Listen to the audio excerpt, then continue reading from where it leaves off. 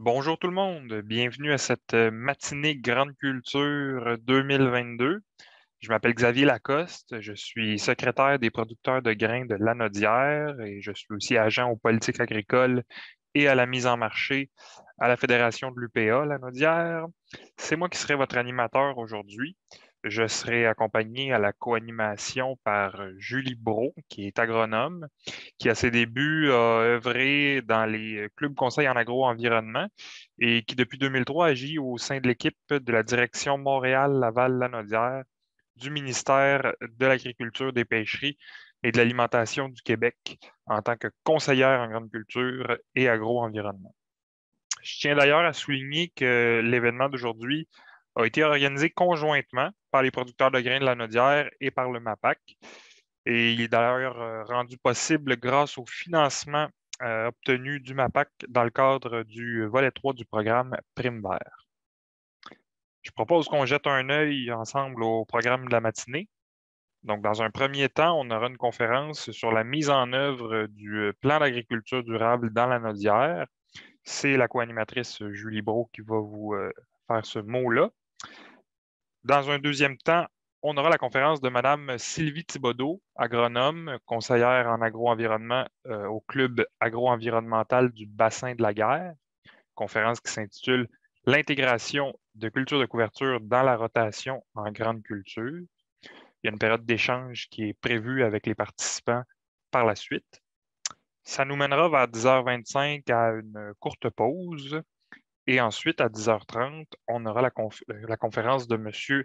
Frédéric Thomas, qui est producteur agricole en Sologne, agronome et spécialiste de l'agriculture de conservation des sols en France. Conférence qui s'intitule L'agriculture de conservation des sols et couverts végétaux, développement de l'autofertilité et adaptation des modes de fertilisation. Il y aura également une période d'échange avec les producteurs qui euh, suivra. En ce qui concerne maintenant les règles de procédure pour la matinée, vous remarquez que vos micros et caméras sont fermés. Nous vous demandons de bien vouloir tout laisser comme ça. Euh, ça ira mieux là, pour euh, les conférenciers. Et puis, si euh, lors des périodes de questions, vous désirez poser une question, il y a deux options qui vont s'offrir à vous. La première, utiliser la réaction Levez la main dans les réactions qui sont disponibles au bas de votre écran. Nous allons attribuer le droit de parole là, à la première personne qui aura levé la main et il sera possible de poser votre question. Vous pouvez aussi poser votre question par écrit dans le chat, euh, la discussion de, de l'événement. On va alterner en prenant une question qui vient d'une main levée et une qui vient du chat. On s'excuse d'avance si on ne peut pas répondre à toutes les questions. Vous comprenez qu'on a certaines contraintes euh, de temps mais nous ferons de notre, mieux là, à cet égard pour répondre à tout le monde. Donc, sans plus tarder, je passe la parole à Julie pour sa présentation sur la mise en œuvre du PAD dans la Nodière. À toi, Julie. Euh, donc, comme euh, Xavier vous l'a dit, je vais parler euh, rapidement, c'est une brève présentation du plan d'agriculture durable, donc le PAD. je parlerai aussi rapidement de la démarche du plan d'action régionale, puis des cohortes régionales en agro-environnement, ainsi que du programme Prime Vert en lien avec le PAD. Donc, je vais euh, rapidement vous parler des différents objectifs. Donc, on a un objectif au niveau, je vais faire un rappel des objectifs et des principales cibles en lien avec ces objectifs-là ou indicateurs. Donc, on a un objectif qui est de réduire l'usage euh, et les risques des pesticides pour l'environnement et la santé. Dans cet objectif-là, les cibles sont euh, de de, réduire les kilos de pesticides de synthèse qui sont vendus, puis aussi une, cible au niveau de la réduction de 40% des risques pour la santé et l'environnement. Un autre objectif du PAD, c'est d'améliorer la santé euh, des sols ainsi que la conservation des sols. Dans cet objectif-là, les cibles, c'est euh, que 75% des superficies cultivées soient couvertes en hiver par des cultures de couverture ou des résidus de culture. On a aussi une autre cible pour cet objectif qui est que 85% des sols agricoles aient un pourcentage de matière organique de 4% et plus. Un autre objectif, c'est l'amélioration de la gestion des matières euh, fertilisantes, où est-ce que la, cible, c'est euh, la réduction de 15% des apports de matières fertilisantes azotées sur les superficies en culture. Un autre objectif qui est euh, d'optimiser la gestion de l'eau. Pour cet objectif-là, on a une cible qui est l'amélioration de l'indice de santé benthos des cours d'eau dégradés euh, d'une classe ou de 15 unités. Et le dernier objectif du PAD est au niveau de l'amélioration de la biodiversité, où est-ce que l'indicateur est de doubler les superficies agricoles aménagées en bande riveraine élargie ou en ébrisement pour favoriser euh, la biodiversité. Donc, euh, Maintenant, euh, je vais vous faire un état de situation pour la région de la Nodière. En fait, dans la région de la Nodière, on va faire un portrait rapide. On est une région qui est très diversifiée. On a un secteur maraîcher qui est en croissance. On a aussi, autant en grande culture qu'en en production maraîchère, une croissance importante au niveau des superficies en agriculture biologique. Puis, on a des productions animales quand même diversifiées, euh, production laitière, porcine, bovine, entre autres. On a des types de sols qui sont très diversifiés, passant de, des sols très légers à des sols très argileux également. Euh, des enjeux aussi qu'on pourrait ressortir rapidement, entre autres, euh, euh, au niveau de la gestion de l'eau pour les productions maraîchères, il peut y avoir, dans certains cas, des mauvaises qualités d'eau de surface, puis des problématiques d'approvisionnement en eau aussi. On a aussi dans la région des enjeux importants comme dans le secteur du lac Saint-Pierre. Il y a des producteurs qui cultivent dans les, la zone du littoral. Puis aussi, il y a les grandes tourbières dans le secteur de la aussi qui peuvent être un enjeu pour notre région. Euh, maintenant, ce que je vais vous présenter, c'est euh, les différentes cibles du PAN, puis l'état de situation régional. Donc, au niveau de la cible qui est de réduire l'utilisation des pesticides, euh, en fait, en région, on a plus de 70% des superficies qui sont ensemencées qui reçoivent des pesticides. Puis, au niveau de la cible, où est-ce qu'on a, on veut augmenter les superficies protégés en hiver. Euh, en fait, en région, on estime que le pourcentage de superficies euh, qui sont protégées actuellement en hiver est de 30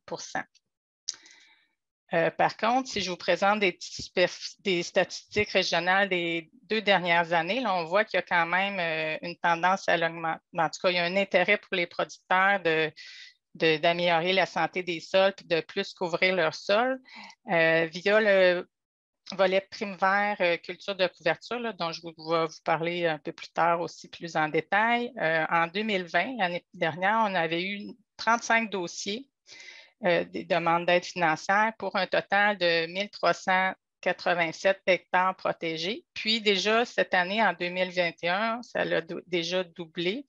On a eu 63, pratiquement doublé, 63 dossiers pour un total de 2500 hectares euh, qui étaient, qui ont, où est-ce qu'il y a des cultures de couverture qui ont été implantées. Donc, on voit vraiment l'intérêt des producteurs là, pour cette euh, pratique-là de couvrir leur sol en hiver. Donc, c'est déjà encourageant, on est sur la bonne voie. Euh, maintenant, ici, si on regarde au niveau de l'objectif qui est d'augmenter la matière organique des sols, on voit que en région, dans le fond, la proportion des sols ayant un taux de matière organique de 4 et plus est passée de 65 Ah, ils vont m'entendre. Là, ma caméra est coupée. Si j'allume la caméra, ils vont. À 77% en 2002.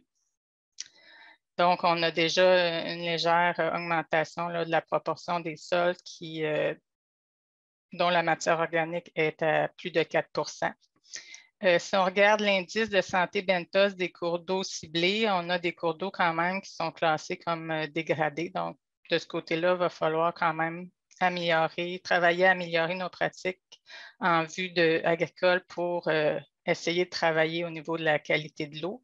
Puis, au niveau de la concentration en phosphore total des cours d'eau, on a observé dans les dernières années une légère baisse qui est quand même encourageante, mais il reste quand même du travail à faire de ce côté-là. Pour les superficies agricoles aménagées euh, avec des, aménagements favorables à la biodiversité, euh, en région euh, Viol Prime Vert, il y a eu 112 km de brise-vent d'implantés entre 2010 et 2020. Donc, c'est quand même euh, intéressant, mais il va falloir aussi euh, travailler de ce côté-là pour répondre à l'objectif du PAL qui est de doubler les superficies euh, aménagées. dans le cadre du plan de mise en œuvre du PAD, quand ça a été publié en juillet, il y a 27 regroupements de producteurs qui se sont engagés dans le transfert de connaissances et qui ont déposé 49 engagements découlant de ces engagements-là, lors d'un appel de projet qui a eu lieu à l'automne dernier, euh, il y a des, différents regroupements d'organismes œuvrant en région qui ont déposé des intentions de projet. Ces, euh, ces organismes-là sont actuellement en attente de, l'analyse de leur projet par euh, Québec, mais c'est juste pour vous mentionner qu'il y aura donc des développements dans les prochaines semaines ou mois euh, pour différents projets de sensibilisation en région. Donc, euh, ça va être à surveiller. Euh, maintenant, je vais vous parler des plans d'action régionaux, en fait, qui ont pour but d'adapter nos actions, de mettre notre couleur régionale, de déterminer nos, nos, enjeux, puis les actions sur lesquelles on veut travailler afin de, de mettre sur pied des actions porteuses là, pour l'ensemble des partenaires régionaux pour euh, rencontrer les objectifs du PAD. Donc, euh, tout au cours de l'été et de l'automne, début de l'automne, il y a eu des consultations en région euh, pour présenter la démarche, mais aussi pour consulter les partenaires au niveau des enjeux et des actions qu'ils jugent prioritaires en lien avec l'atteinte des objectifs du PAD. Euh, la direction régionale a déposé aux autorités à Québec euh, le dépôt d'un plan d'action pour euh, à la fin de l'automne dernier. Puis, actuellement, en fait, là, on est en attente d'une réponse de Québec pour l'acceptation de notre plan régional. Puis, par la suite, on va pouvoir le présenter aux partenaires, puis mettre en place différents projets, notamment des cohortes régionale en agro-environnement. Donc, euh, ça m'amène à vous parler des cohortes en agro-environnement.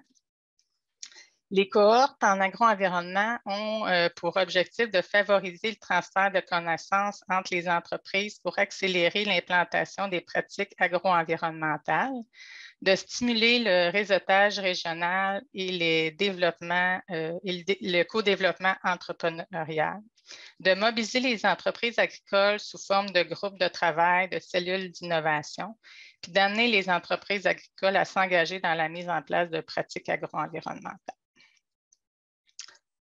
Euh, les cohortes, ça va être composé de constitué comment? En fait, ça va être des groupes de producteurs de 5 à 15 entreprises agricoles qui vont être euh, coordonnés par un conseiller autour d'une thématique spécifique. Les besoins de formation vont être déterminés en fonction euh, des besoins des entreprises. Il y aura euh, de l'animation tout au cours euh, de l'année. Donc, il y aura au minimum deux activités de transfert de connaissances par année d'organiser selon les besoins. Il y aura des trois rencontres de réseautage minimalement d'organiser par, année où est-ce que les entreprises vont être appelées à échanger sur les pratiques, les façons d'innover sur leur ferme pour mettre en place de nouvelles pratiques, puis euh, d'échanger sur leurs bons coups puis euh, les moins bons coups pour apprendre puis euh, améliorer les pratiques plus rapidement. Donc, si on, on, fait le lien avec les différents types du PAN puis les enjeux régionaux que je vous ai présentés plus tôt, on peut penser aussi à différentes thématiques de quoi qui pourraient être intéressantes. si on pense à la réduction des pesticides en grande culture, on pourrait penser entre autres à l'utilisation du désherbage mécanique pour réduire un peu l'utilisation des pesticides qui pourraient être combinés ou, non à l'arrosage en bande dans le maïs, par exemple. Au niveau de l'amélioration de la santé des sols, mais c'est sûr qu'on peut travailler sur la couverture de sol euh, en hiver par l'introduction de cultures de couverture ou par le, le, travail minimum des sols.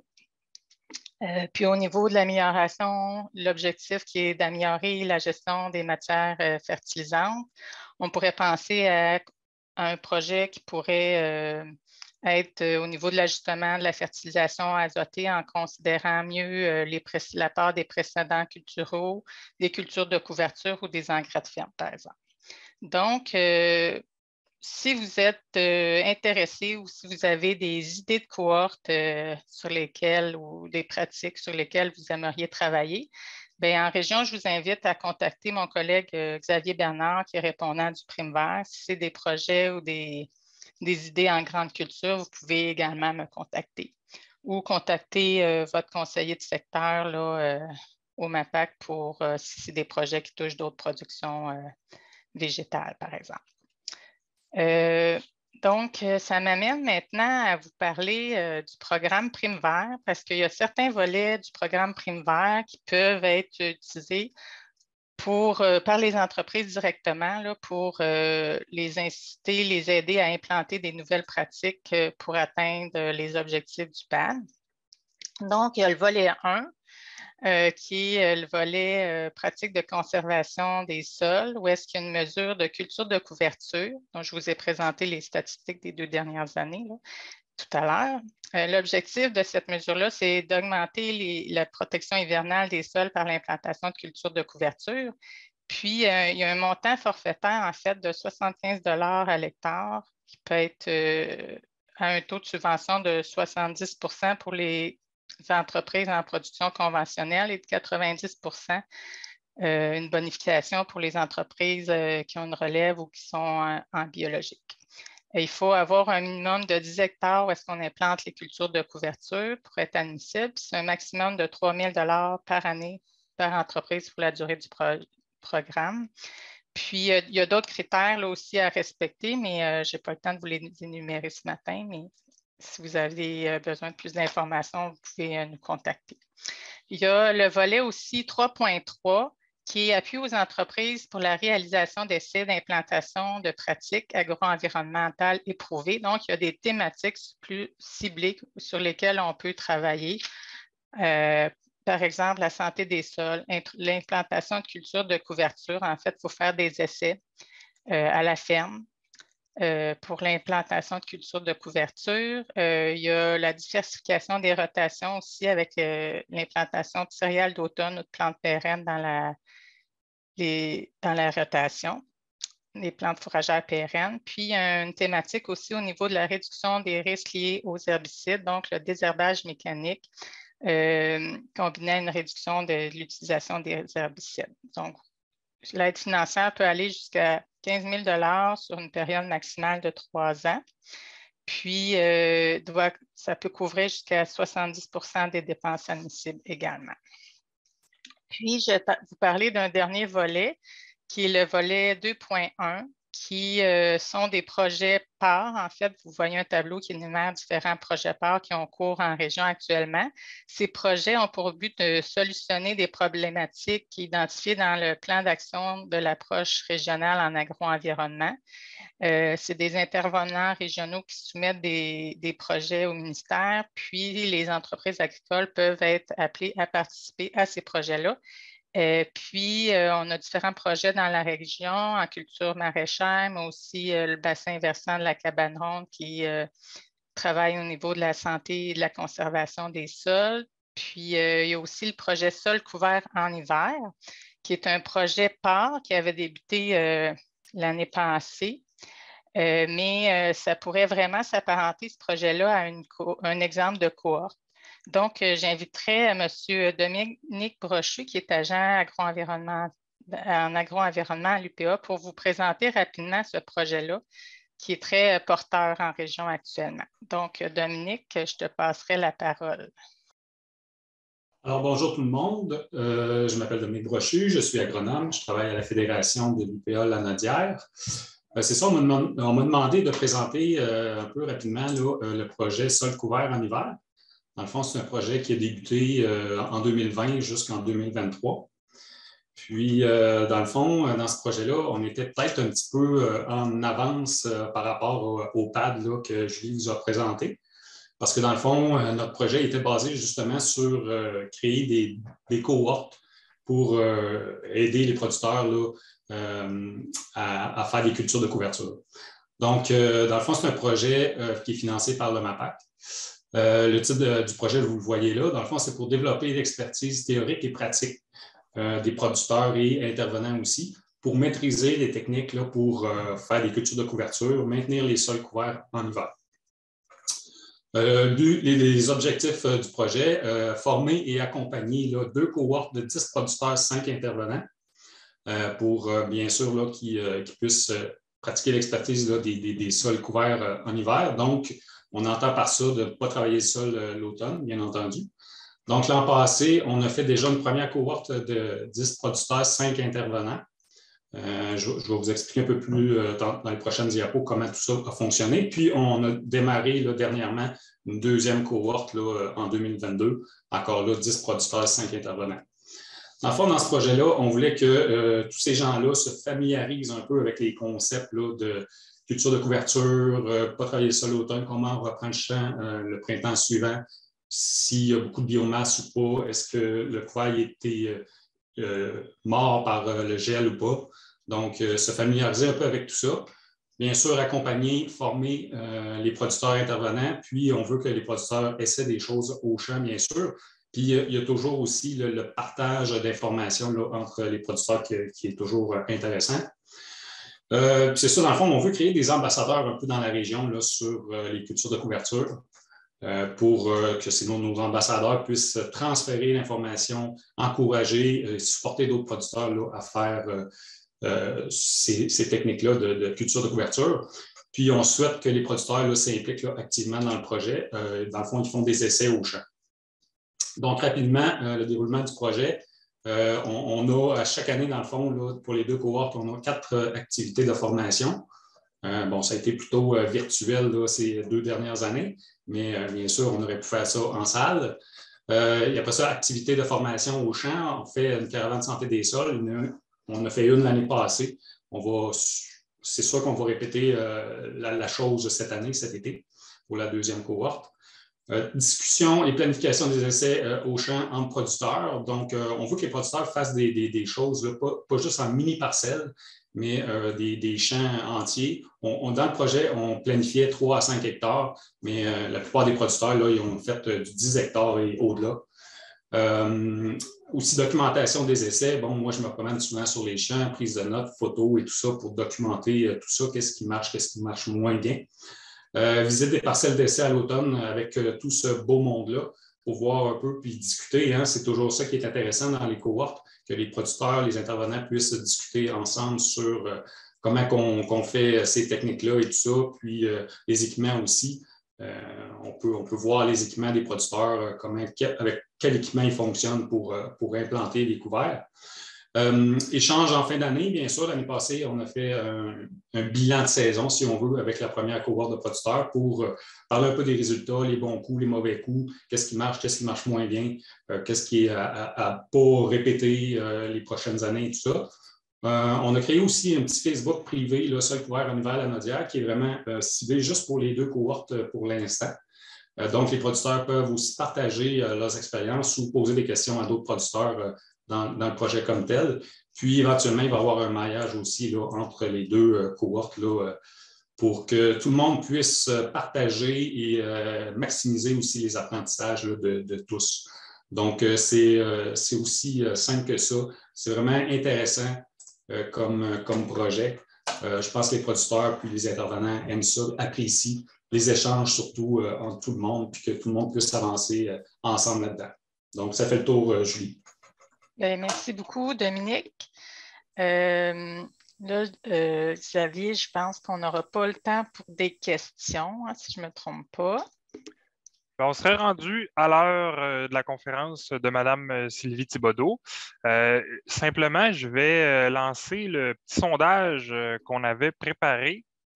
Vous allez voir, il comporte trois questions. On veut savoir parmi nos participants là, combien d'entre vous font des cultures de couverture à l'heure actuelle. Donc, euh, vous pouvez y répondre. Et puis, euh, répondez seulement à la première question pour commencer. On diffusera les résultats euh, une question après l'autre. Donc, on posera la deuxième question à la pause et la dernière question à la fin de la présentation. Donc, c'est ce qui nous amène là à la conférence qui s'intitule L'intégration des cultures de couverture dans la rotation en grande culture. Madame Thibaudot, si vous êtes prête, l'audience est à vous. Alors, on y va? Euh, ben, bonjour tout le monde. Merci au comité euh, organisateur. Vous voyez bien ma, présentation. Euh, Julie, vous me fait signe la tête. C'est bon, parfait. Mais ben, merci de m'avoir invité. C'est drôle parce que je me sens un peu comme une vedette rock à qui on aurait demandé de faire la première partie des Rolling Stones un matin. Ça fait, ça met la pression. en fait, ce que je vais faire dans les, quelques minutes qui me sont accordées, c'est d'essayer de faire le tour de différents essais au Québec. Là pour vous jaser d'intégration des cultures de couverture euh, dans la rotation en grande culture. Parce qu'il se fait beaucoup de choses au Québec, il s'est fait beaucoup de choses, il s'en fait encore. je vais vous présenter des exemples concrets. On va regarder des cultures de couverture à la dérobée, on va parler d'intercalaire dans les céréales, dans le maïs, et si on se rend là, on va parler d'intercalaire dans le soya, parce que dépendamment du temps, je ne sais pas qui gère le temps ou qui pourra me faire signe, mais euh, j'ai gardé l'intercalaire dans le soya à la toute fin, donc si on n'a pas le temps, ben, tant pis, on coupera là. On va parler de sel comme culture de couverture. Puis au travers de tout ça, je vais essayer de passer des mises en garde, de vous faire part de différentes contraintes. Et on va parler euh, d'apport d'azote et de rentabilité des cultures de couverture, toujours au travers de ces exemples. Donc, je vais juste commencer en vous montrant une photo de racines parce que c'est pour ça qu'on utilise les cultures de couverture. Le but principal, c'est de mettre des racines dans le sol parce que la plante absorbe du carbone. Il y a une partie de ce carbone-là qui est rejetée par ses racines sous forme de sucre, d'enzymes, de protéines. Et ça, ça nourrit les micro-organismes du sol qui, eux, en retour, vont aider la plante à capter les éléments fertilisants, à absorber de l'eau, à le protéger contre les maladies, améliorer la structure du sol. Donc, il y a une relation donnant-donnant entre la plante et les micro-organismes du sol qui sont super importants pour la santé de vos sols. Donc, et ces micro-organismes-là, ben, ils sont présents, ils sont collés sur les racines. Ça prend des racines dans le sol pour augmenter la, population de micro-organismes du sol. Donc, je dirais que c'est l'objectif premier des cultures de couverture, c'est de mettre des racines dans le sol. Et je voudrais juste dire un mot avant de tomber dans les exemples sur comment choisir ces cultures de couverture, parce qu'il faut se poser des questions avant de faire son choix et regarder premièrement, c'est quoi ses objectifs? Est-ce qu'on veut protéger le sol contre l'érosion? améliorer la structure, activité biologique, c'est quoi augmenter la matière organique? Est-ce qu'on vise d'abord un apport d'azote? Ou recycler des éléments fertilisants, valoriser des engrais de ferme? Si on est en bio, peut-être qu'on va viser davantage le contrôle des mauvaises herbes. Donc, choisissez-vous des objectifs, euh, quelques-uns dans ça, puis planifiez vos cultures de couverture en fonction de vos objectifs. Puis également, en tenant compte de votre système de production. Il faut regarder quelle est la rotation en place. Est-ce qu'on est en régie bio? Est-ce qu'on a des engrais de ferme à récupérer? Il faut se poser des questions aussi sur la rémanence des herbicides. On va aborder un tout petit peu l'aspect herbicide aujourd'hui, mais la rémanence des herbicides, que ce soit euh, la compatibilité d'un herbicide pour votre culture de couverture ou bien ce qui reste dans le sol en fin de saison avant de faire un semis, il faut se poser des questions là-dessus. Puis, regarder le système, est-ce qu'on est en semi-direct ou on a l'option de faire un travail de sol? Et ça, ça m'amène juste à vous, euh, vous mettre cette diapo-là, qui est un peu comme l'œuf ou la poule. Est-ce qu'on commence avec le semi-direct ou on commence avec les cultures de couverture? Moi, je, regarde, je dirais qu'on euh, a commencé il y a plusieurs années en implantant le semi-direct. Puis les cultures de couverture sont venues après. Mais à regarder ça maintenant à long terme, puis ensuite je regarde en arrière, je me dis, on aurait été mieux, ça aurait été plus rapide, la transition serait mieux faite vers le semi-direct si on avait d'abord intégré les cultures de couverture, d'abord amélioré l'activité biologique du sol, la structure, etc., la, marche pour le semi-direct aurait été moins haute à monter. je pense que c'est une option vraiment, un scénario vraiment plus intéressant de commencer avec la culture de couverture si vous n'êtes pas déjà en semi-direct. Maintenant, c'est là qu'on arrive à mes exemples. Comment les intégrer dans la rotation? On va commencer avec les cultures de couverture à la dérobée. Ici, je vous amène deux photos d'un essai qu'on a fait dans le club à l'automne 2009. À gauche, vous avez un champ de moutarde et à droite, un champ de pois fourragés qui ont été semés après euh, culture, après la récolte du blé. À ce moment-là, en 2009, c'était beaucoup de la moutarde qu'on voyait après la céréale, pour ceux qui faisaient des cultures de couverture. À ce moment-là, on appelait ça des engrais verts. on s'est dit, à un moment donné, ben, le pot fourragé, c'est peut-être intéressant. Ça coûte pas mal plus cher, par contre, mais on va l'essayer pour voir si c'est utile. Donc, 2009-2010, l'essai qu'on a fait, semis en 2009, moitié de champ moutarde, moitié de champ pour fourrager. Donc, on parle de moitié de champ. Ce n'est pas un projet de recherche, ce n'est pas scientifique, mais ça nous donne quand même une bonne idée du potentiel ces deux cultures de couverture-là ont été semées au semoir par le producteur à l'air dérobé après la récolte du blé, semée le 20 août 2009 sur un long marginaux. La moutarde a été semée à 8 kg à l'hectare, ça revenait à 20 à l'hectare. Le pot fourragé, 80 kg à l'hectare, 118 à l'hectare, donc pas mal plus cher. Il y a un semi-direct de maïs de fait dans ce champ-là au printemps suivant, en 2010. Donc, semi de maïs roto-moutarde, semi de maïs roto-pois. Puis là, on s'est dit, la meilleure façon de voir si c'était intéressant de faire du poids fourragé plutôt que de la moutarde, bien, de faire des doses, des essais de doses d'azote dans notre maïs pour voir c'est quoi la réponse du maïs à l'azote sur un retour moutarde pardon, versus retour de poids. Là, on a fait des parcelles avec des répétitions. Là, c'est un peu plus scientifique, ce dispositif-là. Et on, avait, on a appliqué de 40 à 240 kHz d'azote dans le maïs. 40, c'était juste le démarreur. Après ça, en poste levé, on est monté par coup de 40 pour se rendre à 240. Puis on a mesuré le rendement du maïs en 2010 en fonction de ces différentes doses d'azote-là. Ce que je vous présente ici, c'est le résultat de notre calcul économique. On a regardé c'était quoi la dose économique d'azote en fonction du prix du maïs selon les différentes doses d'azote qu'on a appliquées. Vous avez donc en haut ici, en noir, le prix du maïs selon différents scénarios, de 175 à 300 la tonne. Et le poids fourragé, c'était quoi la dose économique d'azote optimale dans ces parcelles-là en fonction du prix du maïs? On voit que pour le poids fourragé, peu importe la dose d'azote, en fait, peu importe le prix du maïs, pardon, la dose économique d'azote à appliquer était toujours de 80 kg à l'hectare sur le maïs sur retour poids fourragé. Le rendement moyen de toutes nos doses d'azote confondues était de 13 700 kg à. Sur le retour de moutarde, là, c'est différent. On voit que la dose économique d'azote variait selon le prix du maïs. À ce moment-là, le prix du maïs était à 175 la tonne en 2010. Donc, la dose économique d'azote à appliquer était de 164 kg à l'hectare. Et pour toutes nos parcelles d'azote confondues, le rendement de maïs sur le retour de poids était de 12 600. Donc, on voit que si on fait notre scénario à 175 la tonne, on avait une économie d'azote d'à peu près 80, 84 kg à l'hectare pour à peu près une tonne de rendement de maïs de plus sur le retour de poids fourragé. Mais comme je vous disais, ce n'était pas scientifique, c'était une moitié de champ à poids, une moitié de champ à moutarde. Et le semi-direct de maïs, d'ailleurs, sur le retour de poids fourragé, c'est fait très bien, mieux que sur un retour de poids. Mais là, on s'est dit, bon, on va essayer de valider ces résultats-là. Donc, ah non, pardon, j'avais oublié celle-là. Euh, juste pour vous dire que euh, même en montant à 240 kHz d'azote sur le retour de moutarde, on n'a jamais eu autant de rendement que sur un retour de poids avec 80 kHz d'azote. C'est sûr, vous allez me dire qu'on a triché. On est sur un retour de moutarde versus un retour de poids. Le poids, c'est une légumineuse, ça apporte de l'azote. Mais si c'était juste question d'azote, ben, même en mettant 240, on aurait fini par avoir autant de rendement sur le retour de moutarde que sur le retour de poids. Ce n'est donc pas juste une question de fourniture d'azote et de légumineuses. Il y a autre chose d'impliquer. Et c'est là qu'on a commencé à s'intéresser aux mycorhizes.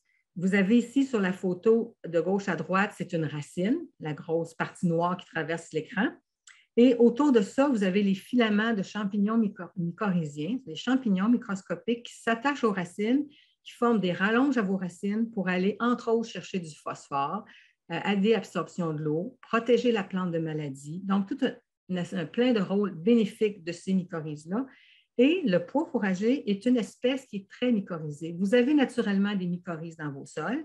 L'idée, c'est de trouver la façon de les favoriser. Et le pois fourragé, ben, c'est une culture qui favorise beaucoup les mycorhizes, comme toutes les autres légumineuses. Donc, on peut supposer qu'en ayant mis une culture de couverture de pois fourragé, on a stimulé beaucoup les mycorhizes qui étaient dans le sol, d'autant plus qu'on était d'un champ semi-direct qui favorise aussi les mycorhizes parce qu'il n'y a pas de travail de sol qui les détruit. Donc, c'est probablement une des raisons qui a expliqué les si bons rendements de maïs et l'équivalent en azote que le pois fourragé a fourni à ce maïs-là, c'est parce qu'on a favorisé les mycorhizes du sol. Et on sait que la moutarde, comme toutes les crucifères, ne favorise pas, ne fait pas d'association avec les, mycorhizes. Donc, c'est probablement à l'origine de ces bons résultats-là.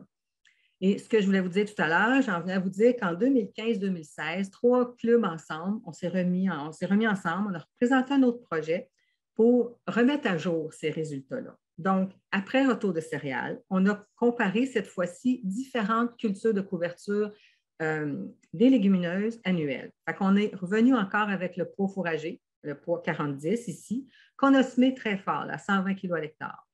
On s'est dit que peut-être que le poids fourragé, vu que c'est une légumineuse, s'il reste de l'azote, peut-être qu'il va être paresseux. Fait qu'on va le mêler avec du radis pour voir si ça aiderait pas à stimuler un peu plus notre poids fourragé. Puis s'il reste de l'azote après notre blé, ben, c'est le radis qui est très gourmand en azote qui va l'utiliser. Fait qu'on a fait un mélange 60 kg d'hectare de pois fourragé, 3 kg de radis. Puis vous voyez à l'autre bout, ça a baissé beaucoup le coût de notre mélange en rajoutant du radis. On a comparé aussi dans tout ça un pois d'hiver, un Suen Winter Pea, qui est un pois d'hiver qui fait moins de biomasse que le pois fourragé, mais qui se développe pendant le mois d'octobre. On a rajouté dans nos essais un trèfle Alexandrie, qui est un trèfle carrément annuel, mais de climat chaud. Le trèfle Incarnat, qui est une annuelle d'été et la veste de Kaaba, qui est une veste annuelle. Donc là, on avait vraiment, à tous les sites qu'on a fait 2015-2016, euh, des répétitions de ces parcelles-là. C'était vraiment un protocole semé par le producteur, mais c'était vraiment plus un protocole, euh, un peu plus de recherche. On a fait la même chose l'année suivant l'implantation, c'est-à-dire qu'on a regardé la réponse à l'azote du maïs sur les différentes cultures de couverture et on a mesuré le rendement. Donc, on a encore ici des doses de 40 à 240 kg à l'hectare d'azote. Les points en jaune, ce sont tous les rendements à maïs sur les parcelles où il n'y avait pas de culture de couverture. Parce qu'en plus, dans cet essai-là, on avait des témoins où il n'y en avait pas de culture de couverture semée après le blé. Il y avait juste la repousse de blé. Les points en vert, c'est le rendement maïs sur le retour de poids fourragé. ce qu'on voit avec ça, c'est que notre rendement économique optimal avec le poids fourragé en vert, on l'a obtenu avec 125 kHz d'azote et on l'a, avec 125 kHz d'azote, on a obtenu un peu plus que 13 tonnes de rendement maïs, tandis que sans culture de couverture, on a eu besoin de 240 kHz d'azote pour obtenir un peu plus que 12 tonnes de rendement maïs. Ça confirme beaucoup les résultats qu'on avait obtenus 2009-2010. Je vous présente ici juste le poids fourragé parce que ça restait notre, meilleure option, le meilleur résultat dans ce cas-là. Mais le mélange poids-radis a donné des résultats similaires à moindre coût. Ben, je vous mets ces conclusions-là en haut ici maintenant. Donc, on a dit que le rendement maximum en maïs sur le retour de poids était de 13 tonnes à l'hectare, puis on a eu besoin de 125 kHz d'azote. Le rendement maximum en maïs sans culture de couverture était de 12 tonnes à l'hectare et on a eu besoin de 240 kHz d'azote. si vous faites 240 moins 125, mais c'est comme si notre poids fourragé avait fourni 115 kHz d'azote. C'est ma troisième ligne ici. Le pot fourragé a donc été euh, fourni un équivalent azoté de 115 kHz et une tonne de plus de rendement maïs que notre témoin sans culture de couverture.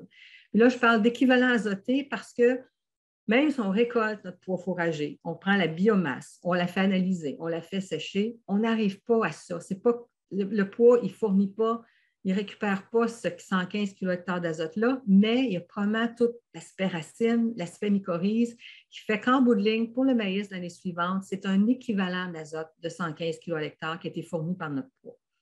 Comme je vous disais tantôt, ben, le poids irradié, on a obtenu des résultats similaires et à moindre coût. Et là, ben, ces résultats-là, on les a utilisés euh, pour faire une analyse économique également, qui est publiée dans le nouveau guide culture de couverture, qui, est disponible actuellement, qui est sorti. Donc, avec une agroéconomiste, on a pris ces résultats, c'est-à-dire 115 kg hectares de fourniture d'azote ou d'équivalent azoté par le pot fourragé et gain de rendement de 1 tonne de maïs. Donc, et on a fait un tableau euh, qui euh, évalue l'impact de la variation du prix de l'azote et du prix du maïs sur la rentabilité de la culture de couverture. On a tenu compte là-dedans les coûts en plus pour la culture de couverture et les coûts en moins à cause de l'azote et à cause du rendement de maïs. Et là, la simulation tient compte de différents prix de l'azote. On a pris, si le prix de l'azote est à 1,25 le kilo jusqu'à 2,50, puis je vous dirais qu'on est, on est dans la réalité actuellement, il y a du 2,60 le kilo d'azote. Et le prix du maïs de 175 à 300 la tonne, ça aussi, c'est la réalité.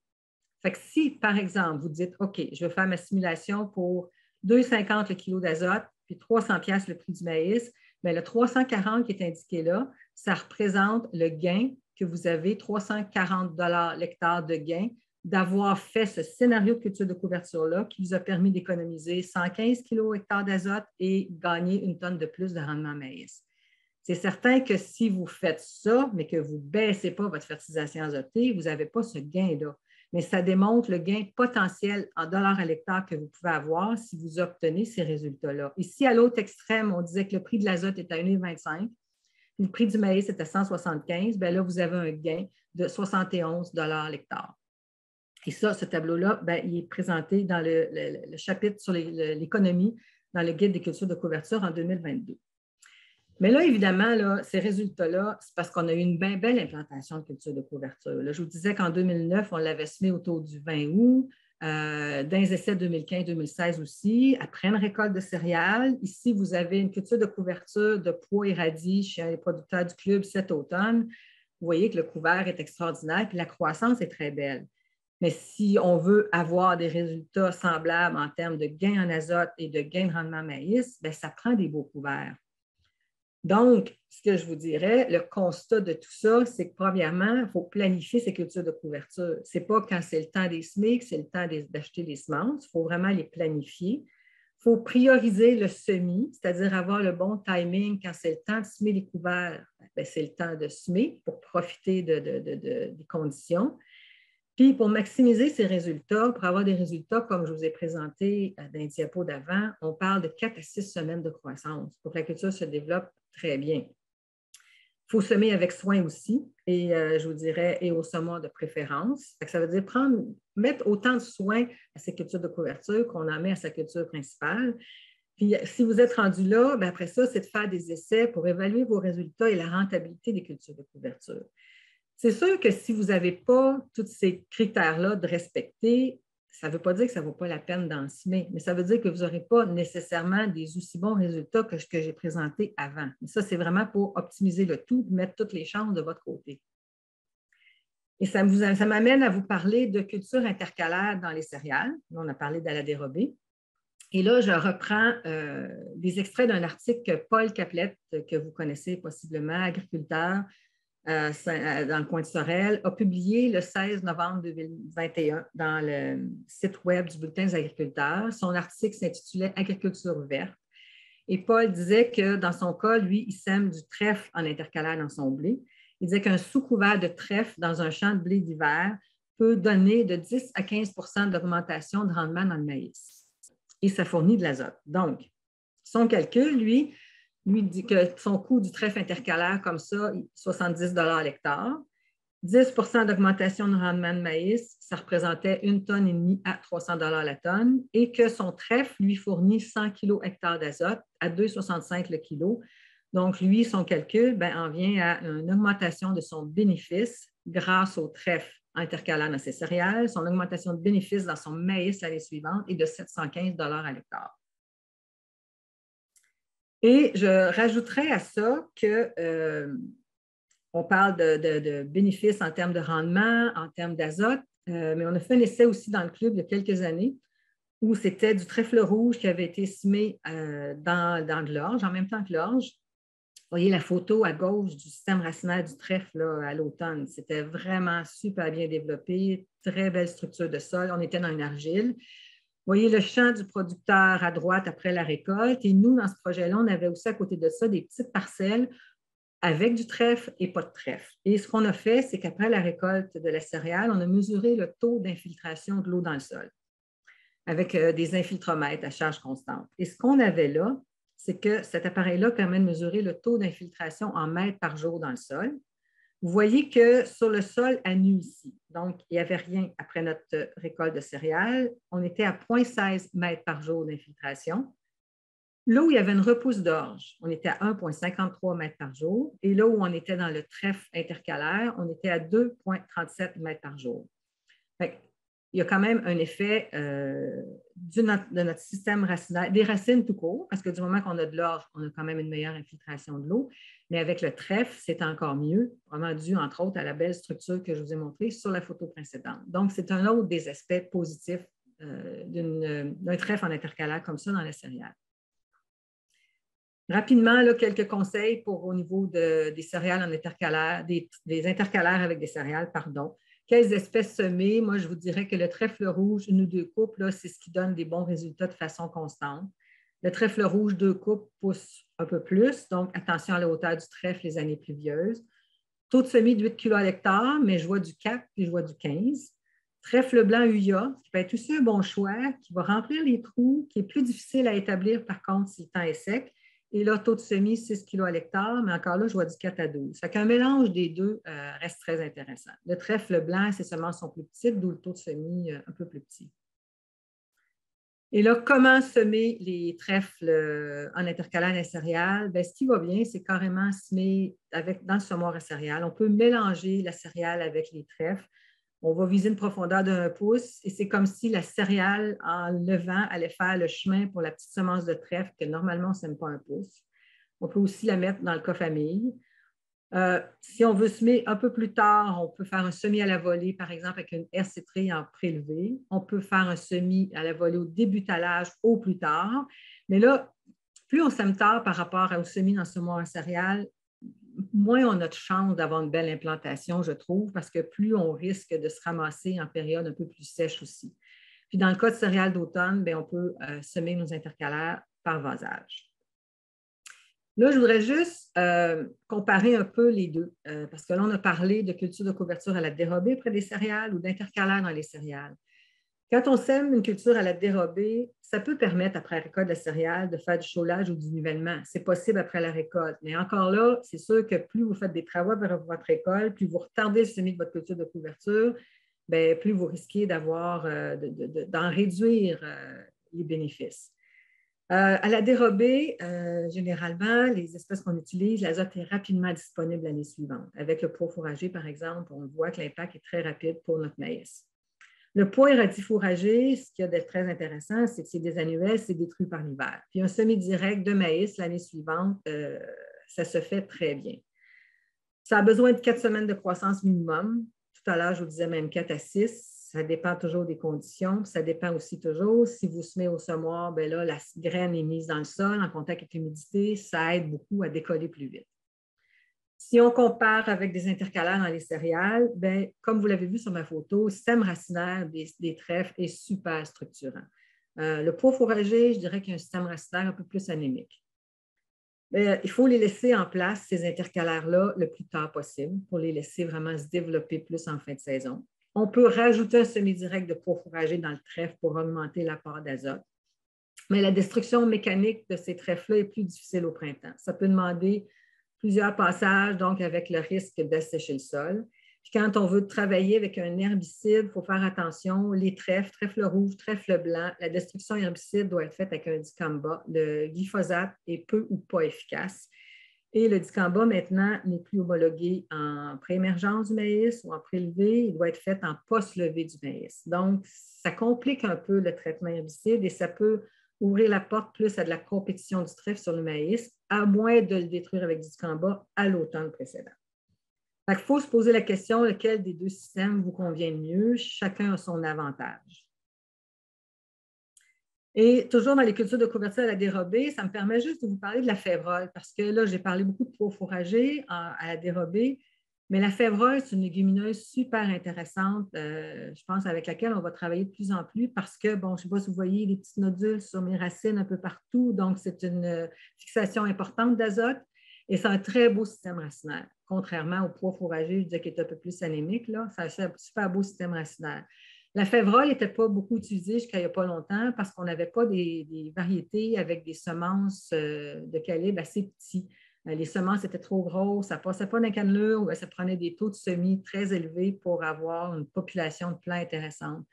Je pense qu'il y, a quelque chose à faire avec la févrole de plus en plus et on va avoir à faire aussi des essais pour valider l'apport d'azote et son impact sur le maïs.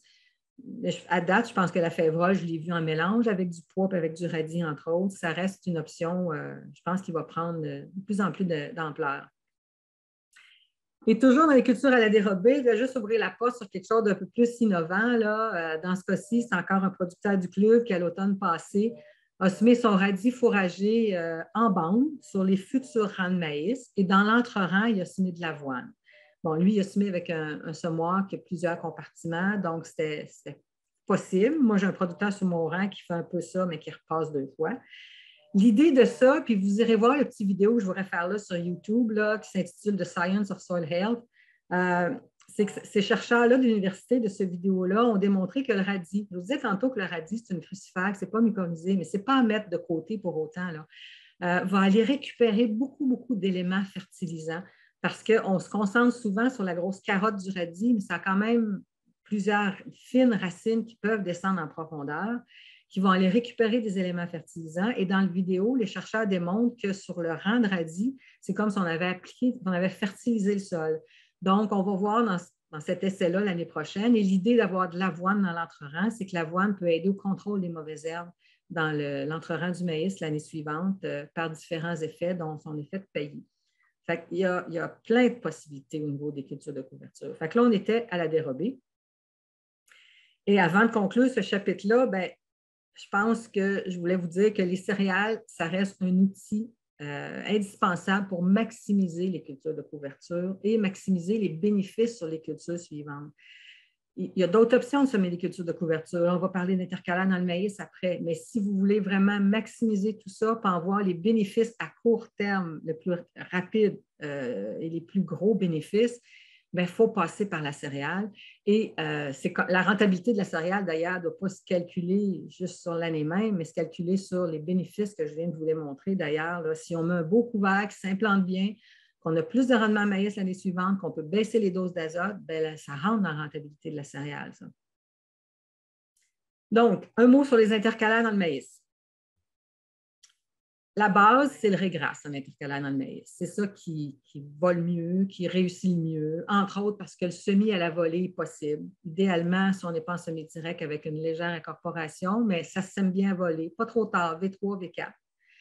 Euh, c'est une plante qui est très compatible avec le maïs parce que le régras supporte bien l'ombre, puis il ralentit sa croissance lorsque la température atteint 22 à 25 degrés, alors que le maïs, lui, décolle rendu là. Ce qu'on veut, c'est que le régras fasse deux, trois feuilles, une coupe de feuilles avant de se ramasser à l'ombre du maïs. Puis après ça, ben, il va être comme en attente un peu, puis se développer tranquillement. Ce qu'il y a aussi de plus, ce qui rend le régras plus facile, je dirais, pas intéressant, c'est qu'il y a quand même plusieurs herbicides qui sont compatibles avec le régras. Oui, évidemment, il y a le glyphosate, si vous voulez juste travailler au glyphosate avant de semer du régras, mais il y a d'autres options aussi, Amazon, Banvel, Converge, En Garde, puis Intégrité, petite dose, euh, qui peuvent être euh, d'autres options que le, que le, glyphosate si on veut travailler avec du régras. Je vous montre ici une photo du régras semé à la volée, intercalaire, euh, intercalaire dans du maïs grain, champ semi-direct. On voit qu'une belle implantation de régras, ça aussi, ça a récupéré de l'azote, ça a récupéré du potassium.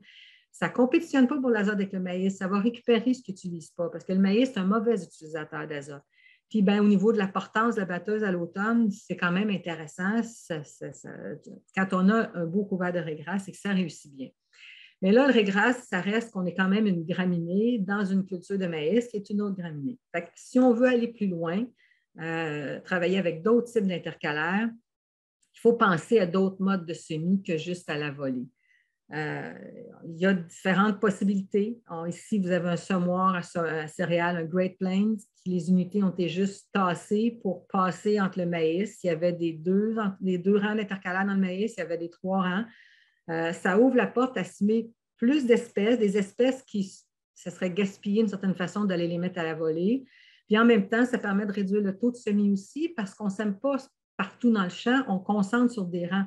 Donc, on a un bon taux de semis sur le rang, mais au niveau du champ, bien, on a besoin de moins de semences. Fait que des espèces plus coûteuses, ça devient intéressant de les utiliser si on va bien les placer en intercalaire. Ici, vous avez un exemple de mélange radis-régras intercalaire, et trèfle incarnat, pardon, en intercalaire, semé justement avec un semoir dans des sillons. En haut à gauche, j'avais la photo après la récolte du maïs en silage. Et il y a une bande là, sur cette photo-là. À droite, ici, le producteur laissait des bandes il n'y en avait pas mis. L'implantation ici a été excellente, ça fait une super belle verdure, végétation à l'automne. Euh, puis vous avez ici un peu plus durant la saison de croissance. Le trèfle incarnat, il n'est pas impressionnant parce qu'il est, pas, euh, il est timide. Il n'aime pas la compétition. Mais bon, ça reste intéressant d'avoir un trèfle dans le mélange. Euh, puis je vous ai mis une note en bas. Attention, c'est certain, il faut se poser la question quand on est d'un maïs en silage très feuillu, un maïs en silage à une seule fin, par exemple, ça peut nuire à notre implantation d'intercalaire parce qu'à un moment donné, il n'y aura pas assez de lumière. J'ai observé la même chose dans des champs de maïs grains à très gros rendement. Un moment donné, là, l'intercalaire a la misère à s'implanter, le maïs prend trop de dessus. Donc, évidemment, ça met en, lumière l'importance de semer dans des sillons si on est dans des conditions comme ça, ou, de changer de, ou peut-être que l'intercalaire n'est pas approprié non plus, ou peut-être que, là, on n'en parlera pas aujourd'hui, mais peut-être que de penser au maïs euh, en rein espacé de 60 pouces à ce moment-là. Ici, vous avez un exemple de pot fourragé. C'est impressionnant comment le pot fourragé, semé dans des sillons, se développe bien l'intercalaire dans le maïs. Il couvre tout son entre-rang, il contribue au contrôle des mauvaises herbes, mais quelque part rendu à mi-août, fin août, il n'est plus là. Il a fini son cycle. Euh, il a fleuri, il a fait ses graines, puis il a séché. Mais il a fait une certaine job là, en termes de, de mycorhizes puis d'activité biologique du sol. Un autre exemple ici, c'est un producteur du club cette année. Lui, il a semé avec un semoir à céréales. Il avait semé un mélange de sarrasin et de radis fourragé dans son maïs grain. Le sarrasin était présent en début de saison. Il n'était plus là plus tard. C'est le radis, fourragé qui a pris le dessus, comme vous voyez sur la photo ici. ça fait un super beau couvert. Puis ce radis-là, cette carotte-là de radis, ben, c'est de l'eau et du sucre. Ça va être décomposé pendant l'hiver. Ça laisse des trous. L'eau rentre là-dedans. c'est vraiment intéressant pour euh, améliorer le drainage. Et un mot sur les herbicides, parce que là, on vient de voir d'autres possibilités que le, régras en intercalaire. On vient de parler de même quelques mélanges d'intercalaires. C'est sûr que toutes les, cultures de couverture, la plupart des cultures de couverture, puis les intercalaires, ce n'est pas sur l'étiquette des herbicides. Ce n'est pas facile d'avoir l'information. Euh, il faut faire attention aussi quand on veut faire, exemple, un mélange en intercalaire, mélanger des feuilles larges avec des graminées. Là, vous vous fermez la porte encore plus à certains herbicides. Si vous ne semez qu'un mélange de feuilles larges, exemple sarrasin radis, mais là, ça peut vous permettre d'utiliser un antigraminé si vous êtes à un problème de graminé. Ou l'inverse, euh, si vous n'utilisez qu'un mélange de graminées en intercalaire, bien là, vous avez l'ouverture pour utiliser un herbicide contre des feuilles larges. L'autre option, c'est de choisir pour ce genre de mélange-là un champ plus propre, ou évidemment, où il vous ne partez pas avec deux prises contre vous puis des manifestations de mauvaises herbes et choisir aussi des intercalaires qui vont aider à compétitionner les mauvaises herbes. Le radis, entre autres, je le trouve intéressant, particulièrement quand il est semé, il se développe vite, il y a des grosses feuilles. Puis, on a fait une coupe d'essai dans le club avec différents herbicides dans les différentes intercalaires. On a un petit pulvérisateur à parcelle. Puis, ce qu'on voyait toujours, c'est qu'avec les différents traitements qu'on met, les cultures intercalaires étaient présentes la plupart du temps, mais ils étaient affectés. On comparait toujours nos traitements herbicides avec des traitements juste au glyphosate avant le semis de l'intercalaire. Il y en avait quand même des intercalaires, mais beaucoup moins de biomasse, beaucoup moins haute. Certaines espèces étaient plus affectées que d'autres. c'est un peu plate de semer des intercalaires puis d'avoir un herbicide qui ne nous permettra pas d'en avoir le plein potentiel. Il faut se poser les questions avant de faire son choix. Bon, on, on, rentre maintenant dans le sujet du seigle à dérobé, qui est complètement un monde à part, je vous dirais, au niveau du seigle. Le seigle d'automne, c'est vraiment une plante euh, difficile à battre en termes de système racinaire. Vous voyez à gauche, là, un plant de seigle évidemment bien développé, là, mais comment ça peut avoir de racines? Puis à droite, juste un petit germe de seigle, mais avec déjà euh, un système racinaire impressionnant. Euh, un grain de seigle peut produire 600 km de racines. Pas, pas, un grain de seigle jeune comme ça, mais en fin de saison. Puis 600 km de racines, mais évidemment, c'est quand on met les racines toutes bout à bout. Là. Mais c'est dur à battre. Puis comme je vous disais tantôt, ben, les cultures de couverture, c'est parce qu'on veut mettre des racines dans notre sol, fait que le seigle a vraiment sa place. Mais là, où est-ce qu'on le sème, le seigle? Parce que ça serait facile, une option en grande culture, c'est de semer notre seigle après le soya. Mais si on fait ça, ça veut dire que là, on sème du maïs après notre culture de couverture de seigle. Et là, il faut faire attention parce que toute la littérature dit que le rendement du maïs après une culture de couverture de seigle peut être réduit. là, j'ai mis peu avec souligné en italique parce qu'il y a des façons un peu de contourner ça. Mais ça peut être contourné, ça peut être, pardon, le maïs peut être affecté par le seigle pour deux principales raisons. Par l'effet allélopathique du seigle. L'allélopathie, c'est que c'est des substances, le seigle, quand il se décompose, produit des substances allélopathiques qui nuisent, qui peuvent nuire à la germination ou à la, croissance de certaines plantes. Le seigle, les substances allélopathiques sont particulièrement efficaces contre tout ce qui des petites semences. C'est parfait parce que par rapport aux chénopodes, entre autres à l'amarante, le seigle est très efficace pour contrôler ces mauvaises herbes-là. Mais le maïs est aussi sensible aux substances allélopathiques produites par le seigle. Et une autre raison pour laquelle le rendement maïs peut être détruit par le seigle, c'est que des champignons du sol, des fusariums et des pythiums, qui sont responsables de maladies de racinaires des graminées qui peuvent se transmettre du seigle au maïs. C'est ce que les Américains appellent le green bridge. C'est-à-dire que notre seigle peut avoir de ces champignons-là sur ses racines. Quand on le détruit, bien là, les champignons, où est-ce qu'ils s'en vont? Ils s'en vont sur notre culture suivante. Et si c'est du maïs, bien, le maïs va être affecté par ces maladies racinaires-là. Et plus je lis là-dessus, plus je me rends compte que c'est vraiment le principal point qui affecte le maïs, plus que l'allélopathie, ce sont ces champignons du sol-là, le Green Bridge.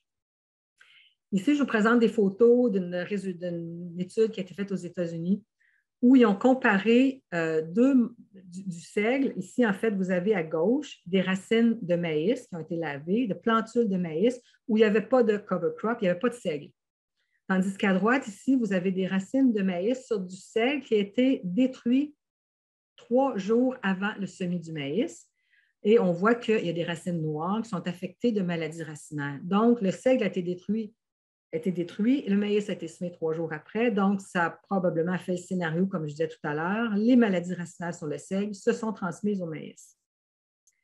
Ici, une autre étude publiée en 2019 où ils ont regardé l'impact du moment de la destruction du seigle par rapport à la date de semis du maïs. Quel est cet impact-là sur les maladies racinaires du maïs? Fait qu'ici, en haut, vous avez les différents scénarios. Si le seigle a été détruit 17 jours avant le semis du maïs, 8 jours avant le semis du maïs ou 2 jours avant le semis du maïs? Et quel est le pourcentage de plantules de maïs qui avaient des maladies racinaires? Quand on détruisait le seigle 17 jours avant le semis du maïs, ben, on avait de 8 à 25% de hum, plantules de maïs qui avaient des maladies racinaires. Mais si on détruisait le seigle 8 jours avant le semis du maïs, on avait plus que 80% des plantules de maïs qui étaient malades. Et deux jours avant le semis du maïs, bien évidemment, ce n'était pas mieux. On était encore à plus que 80% des plantules de maïs avec des maladies racinaires. Donc, ça démontre vraiment l'impact de la destruction. Fait qu'on voit qu'ici, d'avoir détruit le seigle 17 jours avant le semis du maïs, ça a réduit l'impact du seigle sur les maladies racinaires du maïs. On a fait des essais dans le club avec euh, un autre club aussi là, pendant quelques années où on a semé du seigle euh, soit après du soya ou soit après du maïs en silage parce que ça va bien. On a fait différents scénarios. Je vous présente ici les rendements 2020 et 2021, différents sites. C'est les rendements, les résultats qui, étaient, qui parlaient le plus. Selon le cas, c'était des grandes bandes semées par le producteur et il y avait des bandes où il n'y en avait pas, il n'y avait pas de seigle dans le champ. Les rendements en maïs ont été mesurés. vous voyez, par exemple, si on regarde le site en 2020 ici, il y avait du seigle qui avait été semé à 100 kg à l'hectare on avait mélangé le seigle avec une légumineuse en se disant peut-être qu'on va réduire nos impacts. On avait réduit notre taux de semis du seigle. on avait un témoin ici sans culture de couverture. On voit clairement qu'il y a eu un impact de notre seigle sur le rendement maïs. Dans ce cas-là, ici, vous voyez le site avec le petit A. Le maïs avait été en semi-direct, avait été semé en semi-direct cinq jours avant la destruction chimique du seigle. Et ce seigle-là avait été ensilé pour une récolte de fourrage, ensilé destruction chimique au glyphosate et semis du maïs cinq jours après. On voit qu'il y avait eu un impact sur notre rendement maïs. Mais bon, il faut mettre dans la balance aussi qu'il y avait quand même eu une récolte de fourrage. Le maïs avait pas été ensilé. Mais on voit que cinq jours de, la destruction, cinq jours avant, il y a eu un impact. Les deux sites ici que je vous présente en 2021, euh, dans ces deux cas-là, le maïs avait été semé dix jours après la destruction du seigle. Et là, on voit que si on compare seulement au témoin, qui est ma ligne d'en bas, et on regarde le seigle à 100 kg à l'hectare, on n'avait à peu près pas d'impact sur notre rendement maïs. C'était moins 3% puis ici, on avait même plus 1% donc ce n'est pas des différences significatives. Donc, dans ce cas-là, il semble que d'avoir attendu dix jours après avoir détruit notre seigle, ça a été OK pour notre maïs. Mais là, euh, à ce moment-là, si on veut faire, si on veut éviter ce scénario-là de, semer du maïs après le seigle, on va penser à semer du soya après le seigle. Mais là, si on veut semer du soya après le seigle, ça veut dire qu'il faut semer notre seigle l'année du maïs. Comment on sème le seigle l'année du maïs? On a passé bien des années à faire des essais, plusieurs sites, plusieurs clubs ensemble, mais essayer de semer le seigle en intercalaire dans le maïs. Vous voyez, super beau notre seigle. On l'a semé avec un semoir à céréales. Mais sur tout le total des sites qu'on a fait pendant quatre ans au moins, euh, c'est très rare que notre seigle a passé l'hiver. Parce qu'on veut un seigle l'année prochaine, on veut un seigle vivant l'année prochaine, soit qu'il mourrait carrément durant la saison, ou s'il était là l'automne, ben, il n'était plus là au printemps suivant. Le seigle, je pense que ça ne va pas dans son cycle naturel d'être semé tôt en saison parce que pas, ça ne va pas comme ça. Normalement, il s'établit à l'automne puis il repart au printemps suivant honnêtement, moi, j'ai abandonné l'idée de semer du seigle en intercalant dans le maïs pour l'avoir dans notre soya l'année suivante. ce qu'on a fait, euh, ce que des producteurs, en fait, l'idée vient de producteurs, entre autres, c'est de semer le seigle en post-récolte du maïs grain et de passer un rouleau brillon après. Euh, moi, ça me semblait, ça me semblait euh, impossible comme technique, là, mais le producteur l'a fait pendant trois ans pour l'instant et ça marche très bien. L'idée du rouleau brillon, c'est juste de brasser un peu les résidus et faire en sorte que les graines de seigle qui sont semées à la volée après la récolte du maïs, bien, les graines de seigle s'en vont en dessous des résidus, puis ça peut permettre d'avoir un meilleur contact sur la semence. Fait que si vous avez une photo de ce que ça donne à l'automne, euh, du moment que le seigle a élevé, ce n'est pas un, super couvert vert, mais c'est vert. Au printemps suivant, là, ça va l'air de ça. C'est quand même, moi, je trouve impressionnant de voir des, champs retour de maïs qui sont verts comme ça au printemps. Puis là, après ça, le plan de match, c'est d'aller semer un soya semi-direct là-dedans.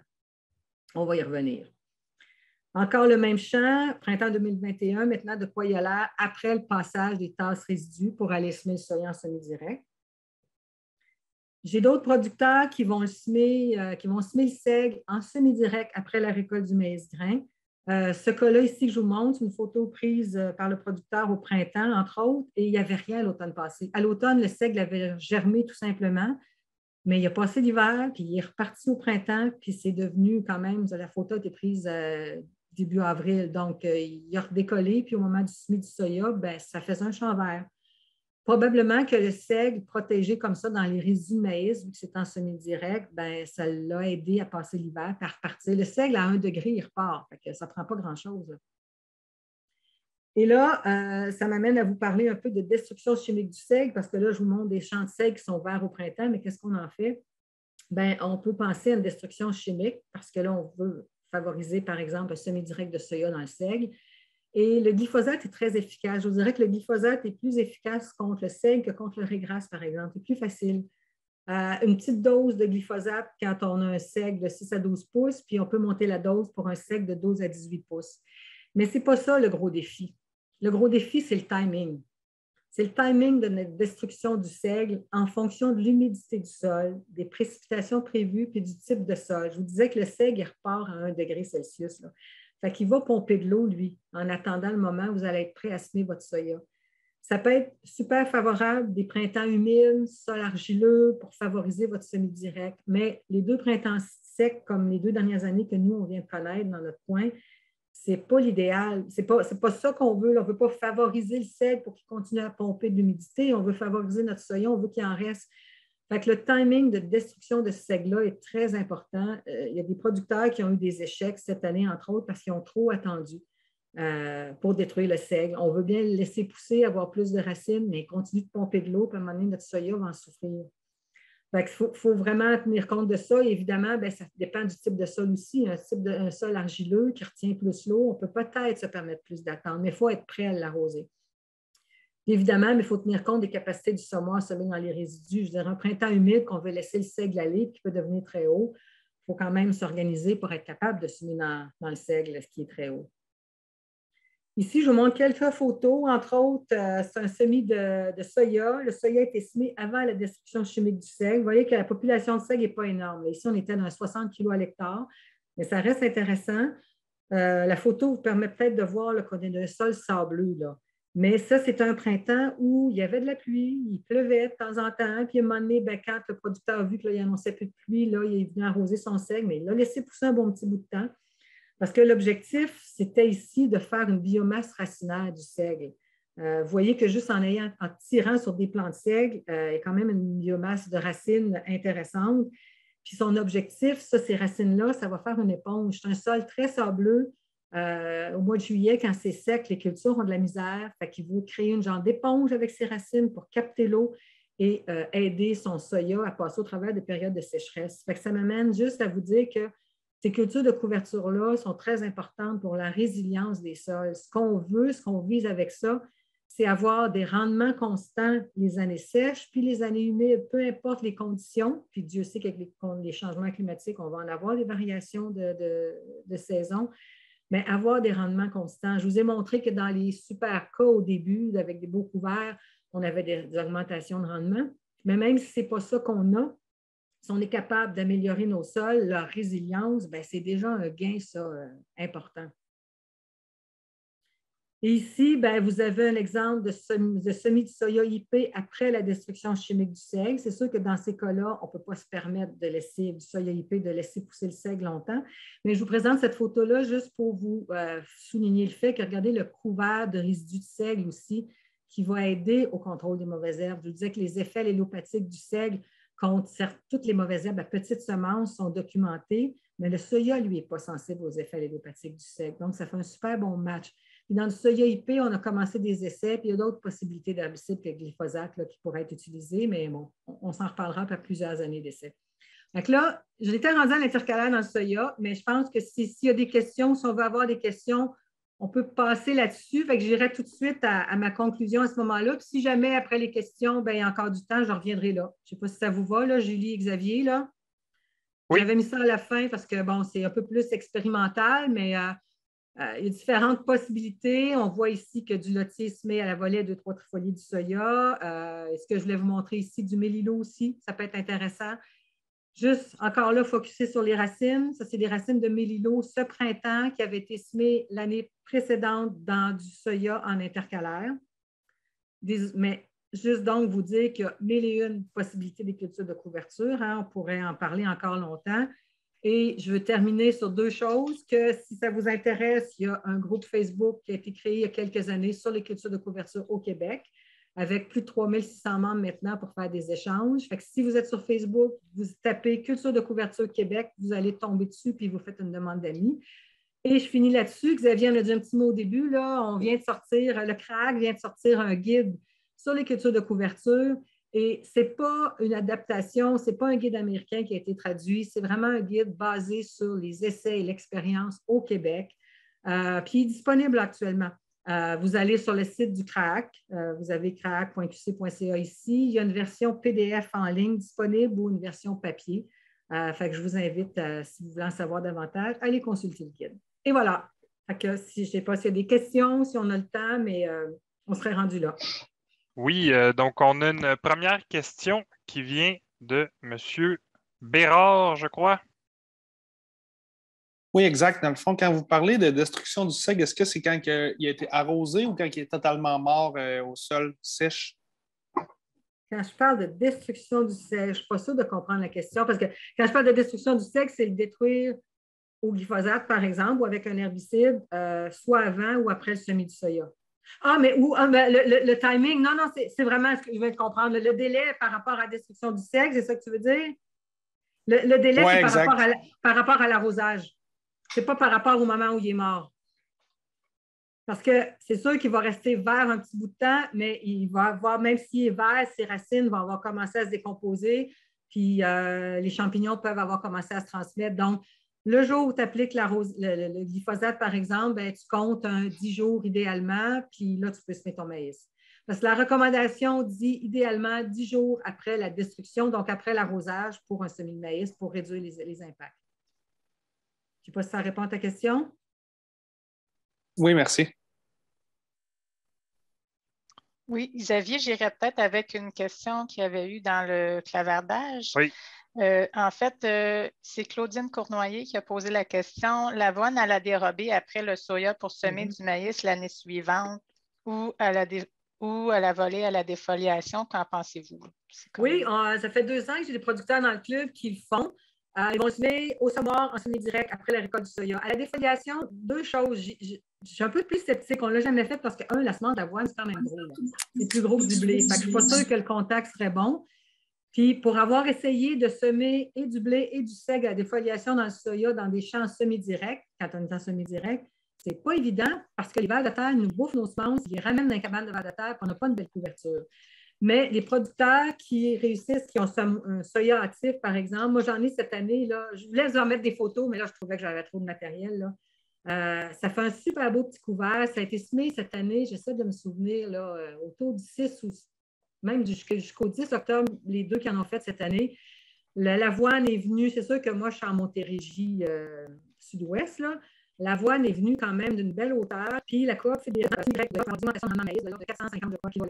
Puis versus le seigle, la première retour de soya, il y avait eu dans cette étude-là des diminutions de rendement de maïs de 100 l'hectare à peu près.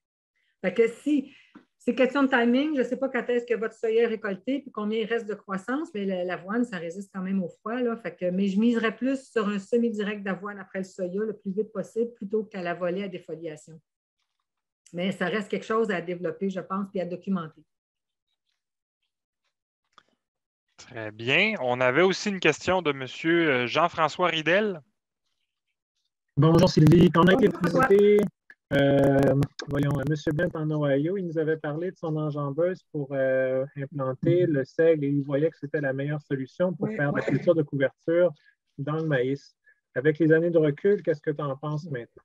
Oh oui, écoute, j'en avais même mis la photo de, M. Brown dans ma présentation, puis je l'ai enlevé hier soir parce que j'ai fait trop de matériel, là, mais ça, on a fait des essais, beaucoup, plusieurs clubs ensemble, à la main, évidemment, parce que l'enjambeuse, on ne l'a pas. Et ça donnait des super beaux résultats. Puis, plus on se met tard, euh, on a fait des, semis euh, sortis des croix, début dessèchement du maïs, puis le plus près possible du moment de la récolte. Plus on se met tard, plus on avait une belle couverture uniforme aussi, parce que quand on se met, mon impression, c'est quand on se met, exemple, à sortie des croix, mais le seigle, même si on en mettait plein de largeur, le seigle était plus vis-à-vis le rang de maïs, lui, il ne poussait pas. Fait qu'on se ramassait qu'une bande de seigle dans l'entre-rang.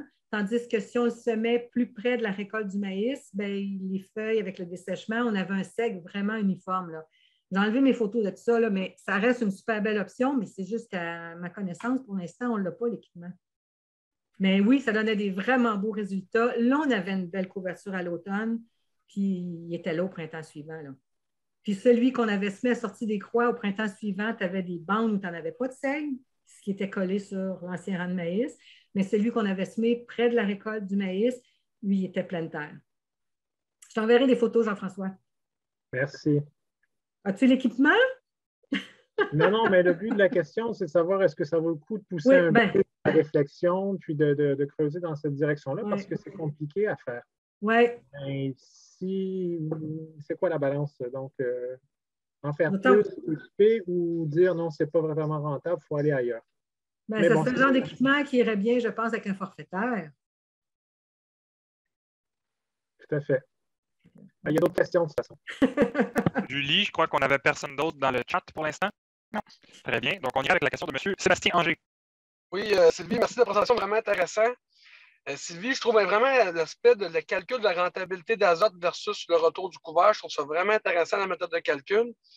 Avez-vous, quand vous avez pris les données des couverts végétaux, pris en compte les dates de floraison des couverts? Non. Considérant que la date de floraison elle a un rôle hyper impact parce qu'il y a un transfert carbone-azote dans la plante, ça a un impact sur la fixation. Euh, non, mais je te dirais que toutes nos semis à la dérobée dans ce projet-là qu'on a fait, tous nos couverts, c'est des annuels ou une annuelle d'été. Fait sont tous venus en fleurs.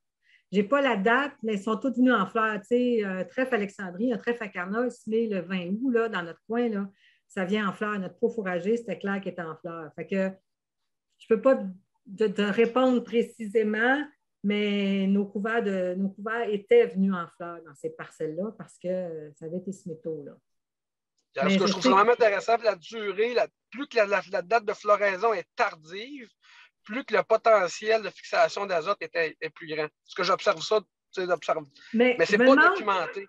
Mais je me demande si ça, c'est juste mon feeling, c'est pas plus vrai avec les trèves vivaces. Ben, je dirais pour le, pour le veste, la veste velue, si on la sème au printemps, elle fait quasiment pas de fleurs. Puis la veste velue au printemps, c'est la Formule 1 de l'azote. À cause qu'elle fait, fait une floraison hyper tardive. On en fait pas tout, en fait. Fait que, tu sais, euh, je trouve ça vraiment intéressant. Les dates de floraison, je pense que c'est une donnée dans les couverts végétaux pour moi qui est ultra primordiale, centrale. Puis je trouve qu'on la, on la prend pas. Puis je veux savoir si on avait commencé à réfléchir à ce niveau-là. Mais c'est clair que notre poids fourragé, dans tous les essais que je t'ai présentés, est en fleurs depuis un bon bout de temps. Là, si un mm. poids fourragé dans notre coin le 15-20 août, là, il va être en fleurs depuis un bout de temps. Là. Parfait. Puis, puis, en passant pour le, l'enjambeur, je pense que le mince 60 pouces, ça va être l'autre, ça va être l'incitatif qui va venir. Je ne pas le temps d'embarquer là-dedans. Là. Désolé, merci. Salut Sébastien. Et je crois qu'on aurait le temps pour une dernière question de M. Jean Asnong. Bon, vous allez être déçus, c'est Heidi, sa fille. Nous autres, on écoute ça. oui, puis ça fait longtemps que je n'ai pas vu Jean. Caroline, ça ne sera pas aujourd'hui. ah, ben, il est juste là. là. Euh, ben, c'est ça. Moi, ma question de mon temps régie biologique puis les couverts végétaux, c'est toujours une grosse question parce que, dans le fond, justement, c'est plus pour l'apport en azote qu'on utilise le poids fourragé. Euh, ça fait quelques années ben, on a eu des printemps secs, on a été chanceux, mais c'est toujours la question est-ce que ça va empêcher le réchauffement du sol une année pluvieuse, puis aussi justement euh, c'est le réchauffement du sol qui est la grosse inquiétude. Donc souvent, on, en détruit la moitié pour ne pas, mettre toutes les œufs. Finalement, ce n'est pas un couvert végétal. Ben, oui, ça en tout cas. Bref, ce n'est pas un couvert euh, d'hiver. Mais tout ça pour dire, est-ce que vous l'avez observé chez d'autres producteurs? Euh, puis même cette année, il y avait beaucoup de volume, fait qu'on a comme paniqué. On devrait être content, mais c'est une autre source de, questionnement. C'est quoi votre taux de semis? De poids? 120, 120 kg à l'hectare. 120 pas... Oui, exact. Parce que j'ai déjà vu des cas à 200 kg à l'hectare, puis là, effectivement, là, je trouve que c'est trop là, pour le. Ça a beau être détruit par l'hiver, je trouve qu'à 200 kg à l'hectare, oui, il y a un risque, là, mais dans nos cas, en tout cas, nous autres, comme on est en conventionnel, puis on va plus avec un 55 de poids, puis 3-4 de radis. Puis c'est surprenant, là, mais on a eu d'aussi bons résultats dans nos doses d'azote avec des taux comme ça. Ça, il n'y a aucun problème. Puis le couvert, la, grosse, la photo que je vous ai montrée, que le super gros couvert, là, il y avait, on était à, c'était 55 de poids, puis 4 de radis. Là. Mais dans des cas comme ça, moi, les producteurs qui font ça font un semi-direct l'année d'après, ils n'ont aucun problème de, réchauffement. Réchauffement, ça. C'est ça. Mais moi, je ferais l'essai en peut-être en baissant un peu le taux de semi du pot en rajoutant du radis. Puis, en tout cas, dans nos essais, la contribution en azote était aussi, euh, aussi bonne. OK. C'est qu'en fait, on a fait du radis un jour, puis on s'est ramassé avec un problème de canaux. Oui, c'est vrai que dans votre cas, avec le radis, oui. Oui, c'est ça qui était. On a toujours des bêtes noires. Mais peut-être, en tout cas, dans l'essai qu'on a fait, où j'ai présenté les données, notre poids était peu, puis il était à 120 kg à l'hectare. Puis le champ l'année suivante, je ne l'ai peut-être pas mentionné, mais c'est un semi-direct de maïs qu'on a fait. On était dans un long limoneux là, qui pourrait avoir eu de la misère à se réchauffer. Puis ça a été. Euh, par contre, vous autres, vous voulez travailler le sol au printemps suivant?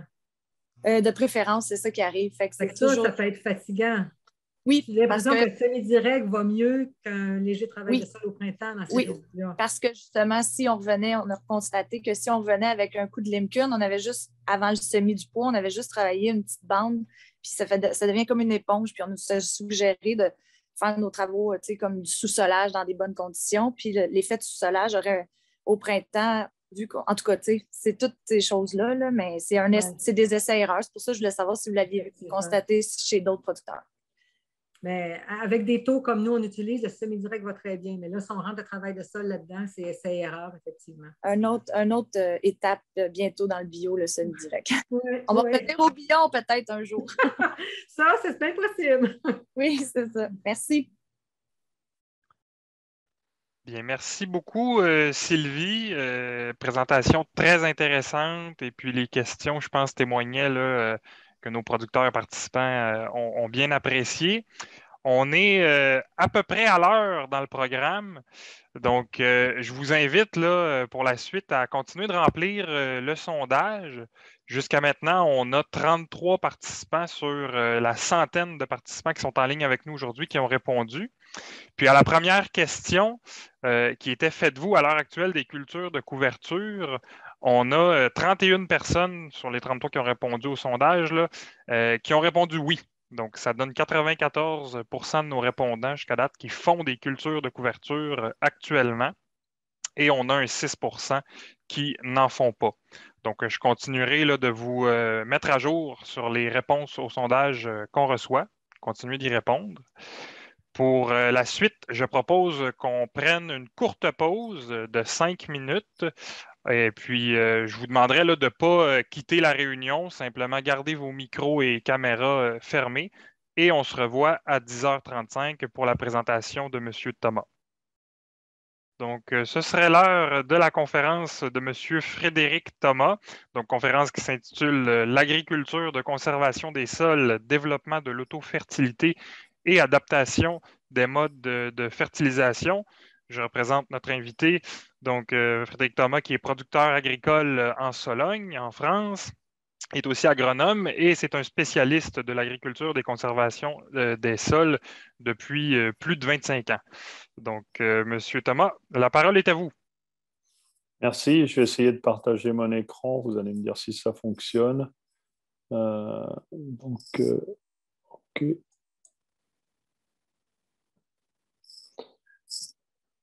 J'ai l'écran. Voilà. Est-ce que vous voyez ma présentation maintenant? Ça euh, fonctionne très bien. Vous pouvez partir. Oui. Excellent. C'est bon comme ça? C'est excellent comme ça? Très bien. Bah, écoutez, euh, déjà, merci pour, euh, pour l'invitation. C'est super sympa d'intervenir pour vous ce matin, pour moi cet après-midi. J'ai écouté un petit peu la, fin de la présentation de Sylvie Thibaudot, ce qui m'a permis de, me mettre un petit peu, euh, de pouvoir m'inscrire un petit peu dans, le débat. Euh, donc, euh, en fait, pour moi, c'est clair que quand on va parler d'économie et d'environnement, c'est l'agronomie qui fait le, pont à tout cela. Alors, euh, comme euh, vous l'avez dit, je suis euh, producteur en plein centre de la France et en fait, j'ai des terres un petit peu compliquées. c'est de l'argile hydromorphe en, dessous qui, nous sert à faire les briques pour nos maisons. Et le dessus, c'est un sable vraiment, on appelle ça du sable à lapin. Et entre guillemets, je m'excuse pour mon accent, j'espère que vous allez comprendre. Hein. Et donc, euh, disons souvent acide. Donc, euh, c'est un peu ça qui nous a conduit vers euh, tout ce qui est semi-direct, couverts végétaux, l'amélioration du sol, le maintien d'une rentabilité sur un territoire où c'est compliqué. donc, on a très rapidement, on est parti vers du semi-direct. J'avais une expérience nord-américaine, plutôt Minnesota et Dakota. Euh, une expérience aussi euh, australienne et puis une expérience aussi euh, sud-américaine. ça, c'est un exemple de semi-l'orge. ça, c'est au mois de novembre. Et ça, c'est l'orge au mois de février. Alors, ce n'est pas, pas une photo récente, il y a quelques, quelques années que j'ai pris ça. Je n'ai pas de, de photo de, de, mon orge en ce moment assez rapidement, euh, il une dizaine d'années, on a, puisqu'on réussissait des belles biomasses avec les couverts végétaux, et souvent des biomasses à une période où euh, il n'y avait pas beaucoup de, de, biomasse dans les prairies.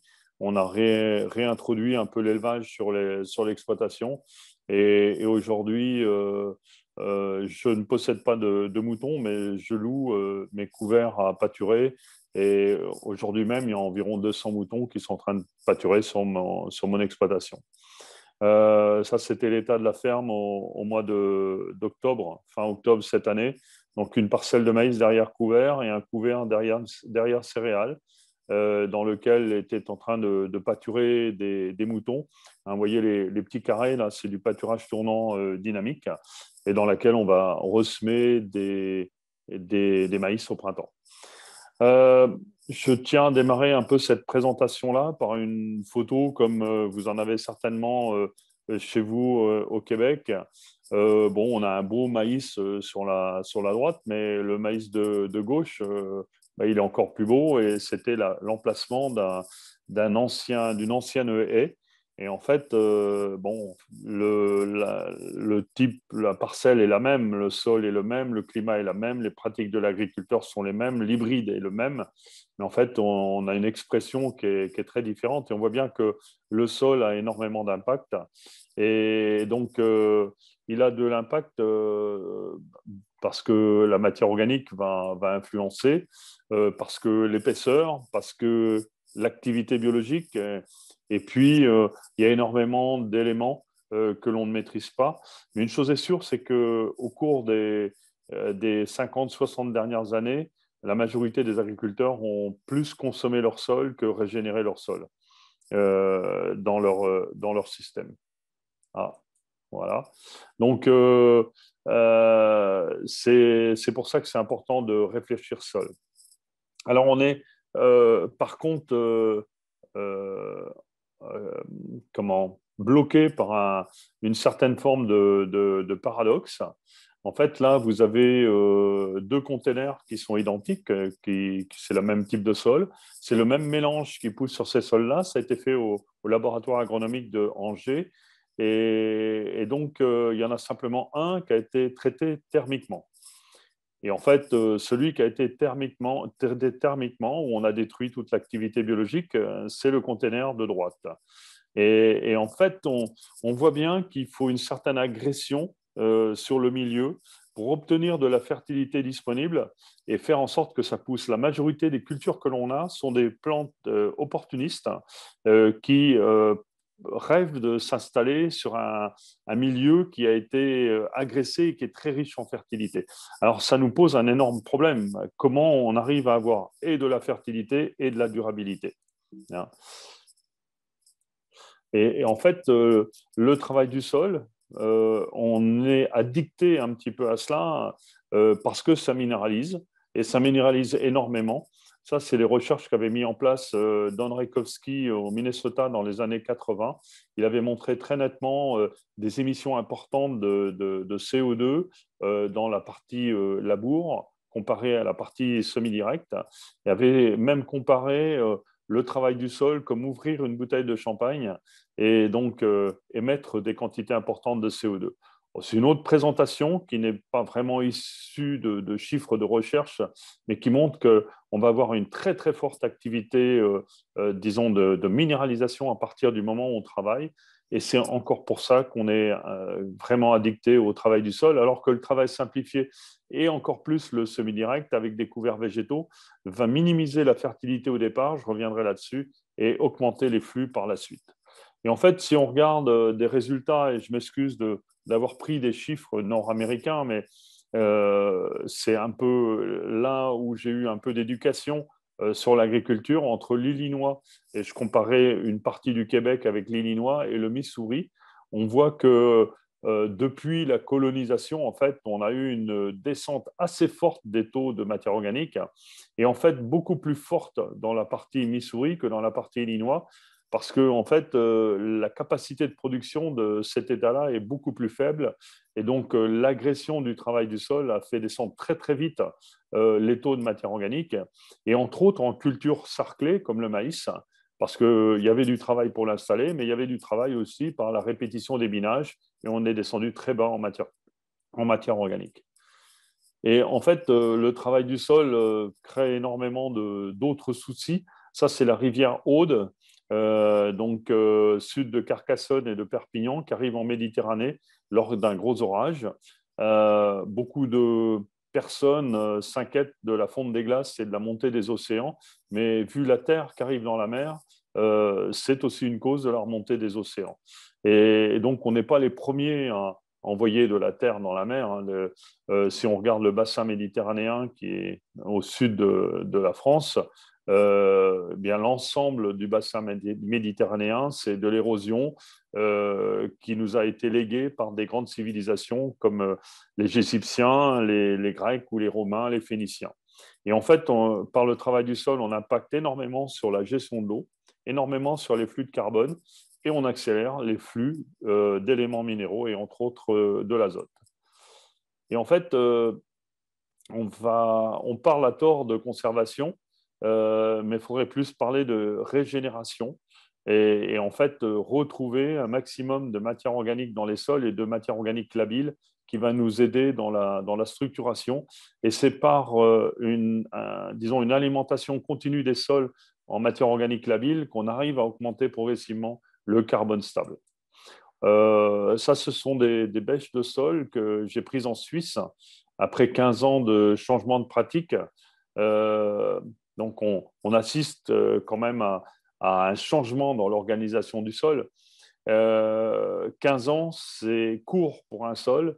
15 ans, c'est, je reconnais, c'est très long pour un agriculteur. Ça peut représenter un tiers ou la moitié de, sa vie d'agriculteur, mais en fait, c'est là que les sols ont, tellement d'inertie euh, qu'ils ont pu supporter euh, des pratiques agressives pendant très longtemps. Mais il faut accepter que ceux qui ont euh, pu supporter les pratiques agressives, il faudra beaucoup de temps pour les remettre un petit peu en état ou en meilleur état. un point également sur lequel j'aime insister, je reviendrai, c'est que dans notre contexte, mais je pense qu'on ne va pas être si loin de cela chez vous, c'est qu'un point de matière organique qui bouge, en plus ou en moins, c'est environ 2000 à 2500 kg d'azote. Euh, si on prend un C sur N euh, proche de 10, à chaque fois qu'on aura 10 atomes de carbone, il faudra un atome d'azote pour le garder dans le sol. Donc en fait, beaucoup de carbone va immobiliser beaucoup aussi euh, d'azote, mais également du phosphore euh, et voire éventuellement du soufre. Alors, euh, tout ça nous fait revenir nos amis. alors, j'ai voulu imiter l'accent québécois de Odette Ménard, que je salue, les Var de Tar. c'est, ouais, on voit, on voit quand même nettement revenir les vers de terre, revenir l'ensemble de l'activité biologique qui améliore très nettement la porosité de, nos sols. la, cage avec les ficelles représente euh, les 600 mètres linéaires de galeries que l'on peut arriver à trouver dans le, dans le sol. Euh, je tiens, je vais avoir quelques clins d'œil dans cette présentation-là à, saluer nos, nos, amis euh, canadiens de l'Ontario qui avaient lancé Soil Your Undies, que vous aviez traduit au Québec par Salissez vos bobettes, il me semble. Et qui était une façon assez sympa euh, de regarder l'activité biologique et, entre autres sans essayer de déterminer quels étaient les acteurs, parce que ça c'est toujours très difficile, mais au moins d'en imager euh, la fonctionnalité. On a bien repris cela et on voit des, différences assez sympathiques en, en France également. Euh, et en fait, si on fait le tour un petit peu du pays, puis qu'on va un petit peu plus loin, on assiste quand même euh, progressivement à des changements de sol. Et ça va être ça la difficulté lorsqu'on va parler des couverts, euh, c'est comment on gère l'immédiat, c'est-à-dire la culture que l'on met en place, mais comment on se place dans l'amélioration à moyen terme du milieu. Ça, c'est un maïs qui est en train d'émerger en Vendée entre deux, deux pratiques. Euh, et l'expression qui disait que l'herbe est toujours plus verte de l'autre côté de la prairie, je pense qu'on va pouvoir la traduire avec notre, vision par euh, la terre est toujours plus, brune de l'autre côté de la. Et en fait, euh, ça nous permet de développer des sols beaucoup plus résilients. et c'est important d'entrer dans les systèmes agricoles la notion de sécurité par rapport à un climat qui est assez, assez bougeant. et là, je suis dans le, dans le Gers, dans le sud-ouest. si demain il pleut pas, euh, on est à peu près tous d'accord pour répondre que c'est le maïs de droite qui va mieux passer l'été. Si demain il pleut que 50 mm, on est aussi à peu près tous d'accord euh, pour prétendre que c'est le maïs de droite qui va mieux valoriser les 50 mm. Et si demain on a une trompe d'eau, un orage de 300 mm en une heure, on est à peu près tous d'accord pour euh, faire confiance à la parcelle de droite pour euh, mieux euh, résister face à ce type de catastrophe. Et c'est vraiment ça qui s'appelle résilience. Et, il est important en agricole aujourd'hui d'aller chercher des bons rendements, mais important que l'on construise le maximum de résilience dans nos systèmes. Alors, ceci vient par les vers de terre, vient par les résidus à la surface du sol, vient également par les mycorhizes. Hein. C'est pour ça que j'ai mis d'autres bénéfices avec plusieurs S, parce qu'on on a du mal à imaginer l'ensemble des acteurs qui sont en train de se mettre en place euh, grâce non pas les couverts, mais une continuité végétale qu'apportent les couverts végétaux et la diversité qui vont rentrer dans le système. Donc, pour rentrer dans le vif du sujet, les couverts, euh, c'est vraiment une autre manière de travailler la, terre. Et vous voyez qu'on n'est pas encore tous d'accord en, France. Euh, mais j'aime bien utiliser cette phrase-là, que c'est le moyen de remplacer l'acier par des racines le gasoil par la photosynthèse, l'urée par des nodosités, une bonne partie des phytos par euh, la diversité. Alors j'ai cru comprendre, nous on dit pulvériser et tout à l'heure vous parliez d'arrosage, hein, c'est bien cela. Euh, je sais que vous vivez une crise d'énergie, une crise aussi du prix des engrais, comme chez nous, des engrais azotés. je me suis permis un petit calcul euh, de coin de table euh, sur euh, simplement une culture de blé qui est une culture un peu importante dans le, dans le centre et l'est de la France. Et en fait, avec une solution azotée, eh bien, les charges hectares qui étaient 120 euros, cette année vont passer à 400 euros. Et si on est sur de l'ammonitrate, on est à à peu près 480 euros de l'hectare. Donc, on s'aperçoit que euh, gérer l'azote ou être un peu plus ou beaucoup plus euh, attentif à l'azote euh, risque cette année, mais aussi à l'avenir, nous apporter des économies de coûts de production qui sont hyper, hyper stratégiques. Et en fait, les couverts vont stocker déjà toutes les pertes alors, euh, je dis, et je ne sais pas si ça va se traduire en québécois, mais les couverts, euh, c'est le moyen de fermer un PEP, ce que j'appelle un plan d'épargne passoire, et de le transformer en PEA, en, plan d'épargne en azote.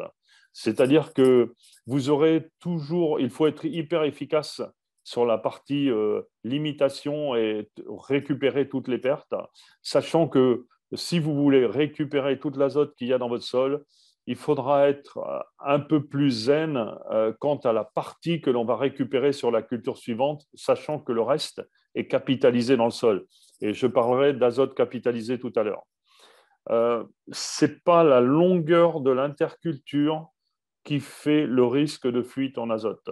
C'est la quantité d'azote disponible dans le sol à un moment donné et avant l'entrée de l'hiver ou des pluies conséquentes.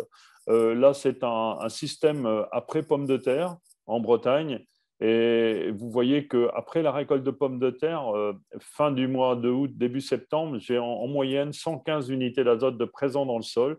Et au moment de l'installation des céréales, j'en ai 145 avec des agriculteurs qui arrivent à 218 unités d'azote de. Donc en fait, trop d'azote et en fait des pertes qui vont être conséquentes, alors qu'un simple couvert de moutarde dans cette interculture courte entre le 15 septembre et le 1er novembre est capable de me capter quasiment 100 à 120 unités d'azote et ramener le niveau de reliquat à simplement 50 unités d'azote. Donc euh, euh, attention, ce n'est pas la durée, c'est toujours un risque lorsqu'on a des quantités d'azote conséquentes dans le sol.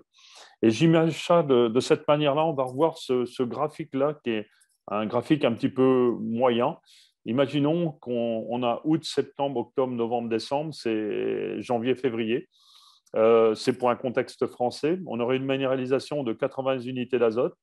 On va souvent avoir un lessivage qui est voisin de 50 et le reliquat sera de 60. Et si on met un couvert végétal, peu importe le couvert, on va piéger environ 60 euh, ou 80 unités d'azote. En fait, c'est la minéralisation qui va se retrouver sous forme de couvert végétal. Et, en fait, euh, on va avoir, s'il y a des légumineuses dans le mélange, une fixation. Donc, on se retrouvera avec environ 130 unités d'azote de plus, de capitalisé. Et, en fait, euh, celui qui aura capitalisé 130 unités d'azote se retrouvera presque avec moins d'azote disponible. Et c'est là que est un petit peu la difficulté, c'est que souvent celui qui a été le plus performant en matière de couverts végétaux se retrouve avec la plus faible disponibilité. Alors que c'est celui qui a autorisé ou permis le plus de lessivage qui se retrouve avec le plus d'azote disponible. Et, donc, euh, une fois qu'on comprend ça, ça va être beaucoup plus facile à gérer. Alors, les couverts peuvent aussi aller chercher de l'azote très profond. Euh, ça, c'est un exemple euh, de catch crop. Je m'excuse pour l'anglais, mais qui était mis en place au Danemark et qui montre que les couverts peuvent aller chercher de l'azote jusqu'à 2 mètres, voire 2 mètres 50 de profondeur. Vous voyez, dans ce sol-là, il y avait 250 unités d'azote au Danemark, et où on est sur un couvert de crucifères, on n'en a plus que 35. Donc quasiment 200 plus d'azote qui a été capté par le couvert, 78 avec la céréale. Mais vous voyez bien qu'on peut descendre très profond avec un couvert, aller chercher de l'azote profond. Lorsqu'on arrive au mois d'avril, l'azote a descendu dans le sol. C'est normal, elle descend par gradient en fonction de la pluviométrie. Et, en fait, euh, on voit bien que la crucifère qui a été détruite a remonté toute l'azote à la surface, mais il y a très peu d'azote dans le fond du sol. Donc en fait, euh, le couvert va jouer ce rôle de pompe et de remonter en permanence la fertilité à la surface du sol. Là, on se retrouve au moment de la, récolte. Et, donc là, encore une fois, euh, c'est le couvert après la crucifère ou le profil azote sur la totalité de l'épaisseur du sol qui est la plus faible.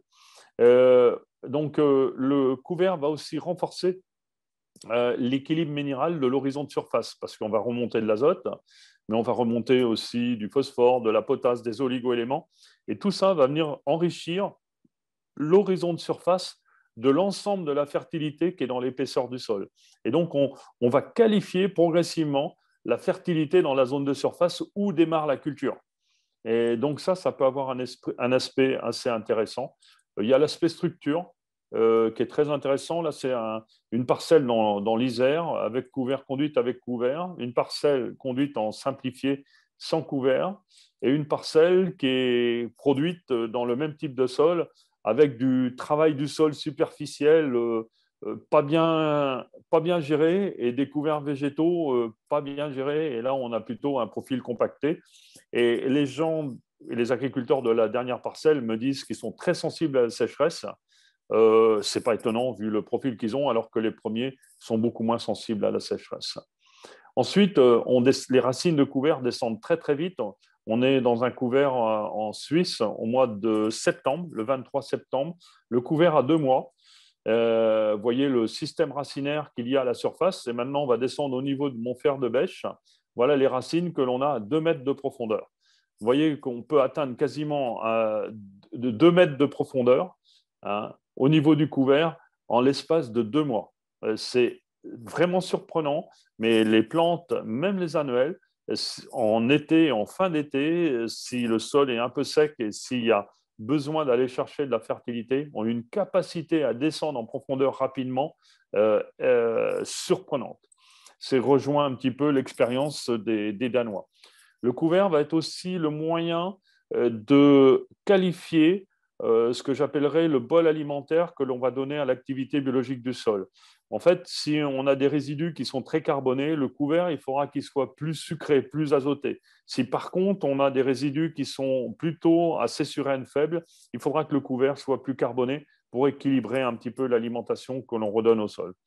Et, en fait, c'est vraiment le moyen de doper l'activité biologique parce qu'on va avoir un, continuum euh, dans l'alimentation et puis une diversité et c'est quand même la, biomasse que l'on produit qui, qui, va être la source de nourriture de cette activité biologique hein, actuelle et future. C'est aussi, et on l'a remarqué à plusieurs euh, reprises, le moyen de sécuriser du semi-direct, parce qu'on peut être sec à des moments donnés, notamment à l'automne, ça c'est une photo qui vient d'Angleterre, mais on peut être aussi humide. Et en fait, euh, lorsqu'on est humide et qu'on a des terres grasses, le couvert peut permettre de faire un, genre de tampon entre, entre le sol et la machine et éviter des, éviter des colmatages. Le couvert va nous aider aussi dans la gestion de l'enherbement parce qu'il pousse toujours quelque chose dans les champs, donc autant que ce soit ce que l'on souhaite. Et pour atteindre euh, donc cette gestion du salissement, il faut atteindre des biomasses assez conséquentes, 4-5 tonnes de matière sèche minimum, voire plus. Ça, c'est un couvert sur la ferme où euh, j'avais oublié de semer une, bande donc, j'étais content de voir que j'avais encore des adventices, mais content de voir aussi que le couvert pouvait faire le boulot de contrôle du salissement à ma place. Certains de nos collègues nord-américains, alors là, je présente Steve Grove, qui est en Pennsylvanie, ont bien avancé sur euh, pousser le couvert le plus loin. Et j'entendais bien ce que disait euh, Sylvie Thibaudot tout à l'heure. Euh, donc, vraiment pousser le couvert le plus loin possible. Et donc, semer, semer, dans le verre. Là, on est sur un, un seigle vesse roulé. Ensuite, disons, fini avec un glypho pour arriver à avoir un, super paillage qui va avoir beaucoup de, comment, d'action limitante au niveau du salissement. Alors, euh, j'ai été euh, à plusieurs reprises euh, à l'université de Madison chez Rin Silva, qui, travaille cela en, en, ABC, agriculture biologique de conservation, semis dans des seigles qui sont semés derrière des luzernes pour avoir beaucoup de fertilité et qui ressèment le soja avant de rouler, au moment où elle roule, avec aujourd'hui des résultats assez intéressants. On a imité cela euh, en France et on s'aperçoit qu'il faut, comme nous disait là des, euh, des, Brésiliens, monter, monter en biomasse. Et en fait, il euh, faut dépasser les 8 tonnes de matière sèche pour descendre à 16% d'adventice. À, moins de 6 tonnes, on a encore beaucoup trop d'adventice. Donc ça, c'est les essais qui ont été faits dans le secteur de Lyon, semis de soja par l'ISARA. Donc, euh, c'est des gens qui sont en contact aussi avec Erin Silva. Euh, c'est le soja après. Et ce que l'on voit euh, arriver là, c'est que on obtient une, meilleure marge brute dans la partie semi-directe et une forte diminution des passages, parce que les sojas menés en agriculture biologique chez nous sont souvent des sojas archibinés. et donc là, en fait, on sécurise la marge et en même temps, il va y avoir un bénéfice qui est très intéressant euh, pour le sol. Alors aujourd'hui, dire que c'est euh, validé et qu'on le, puisse le répéter année après année, c'est un autre, euh, un autre sujet, mais ces réussites nous permettent de, de penser qu'une fois une amélioration de la gestion, on pourra progressivement aller plus loin.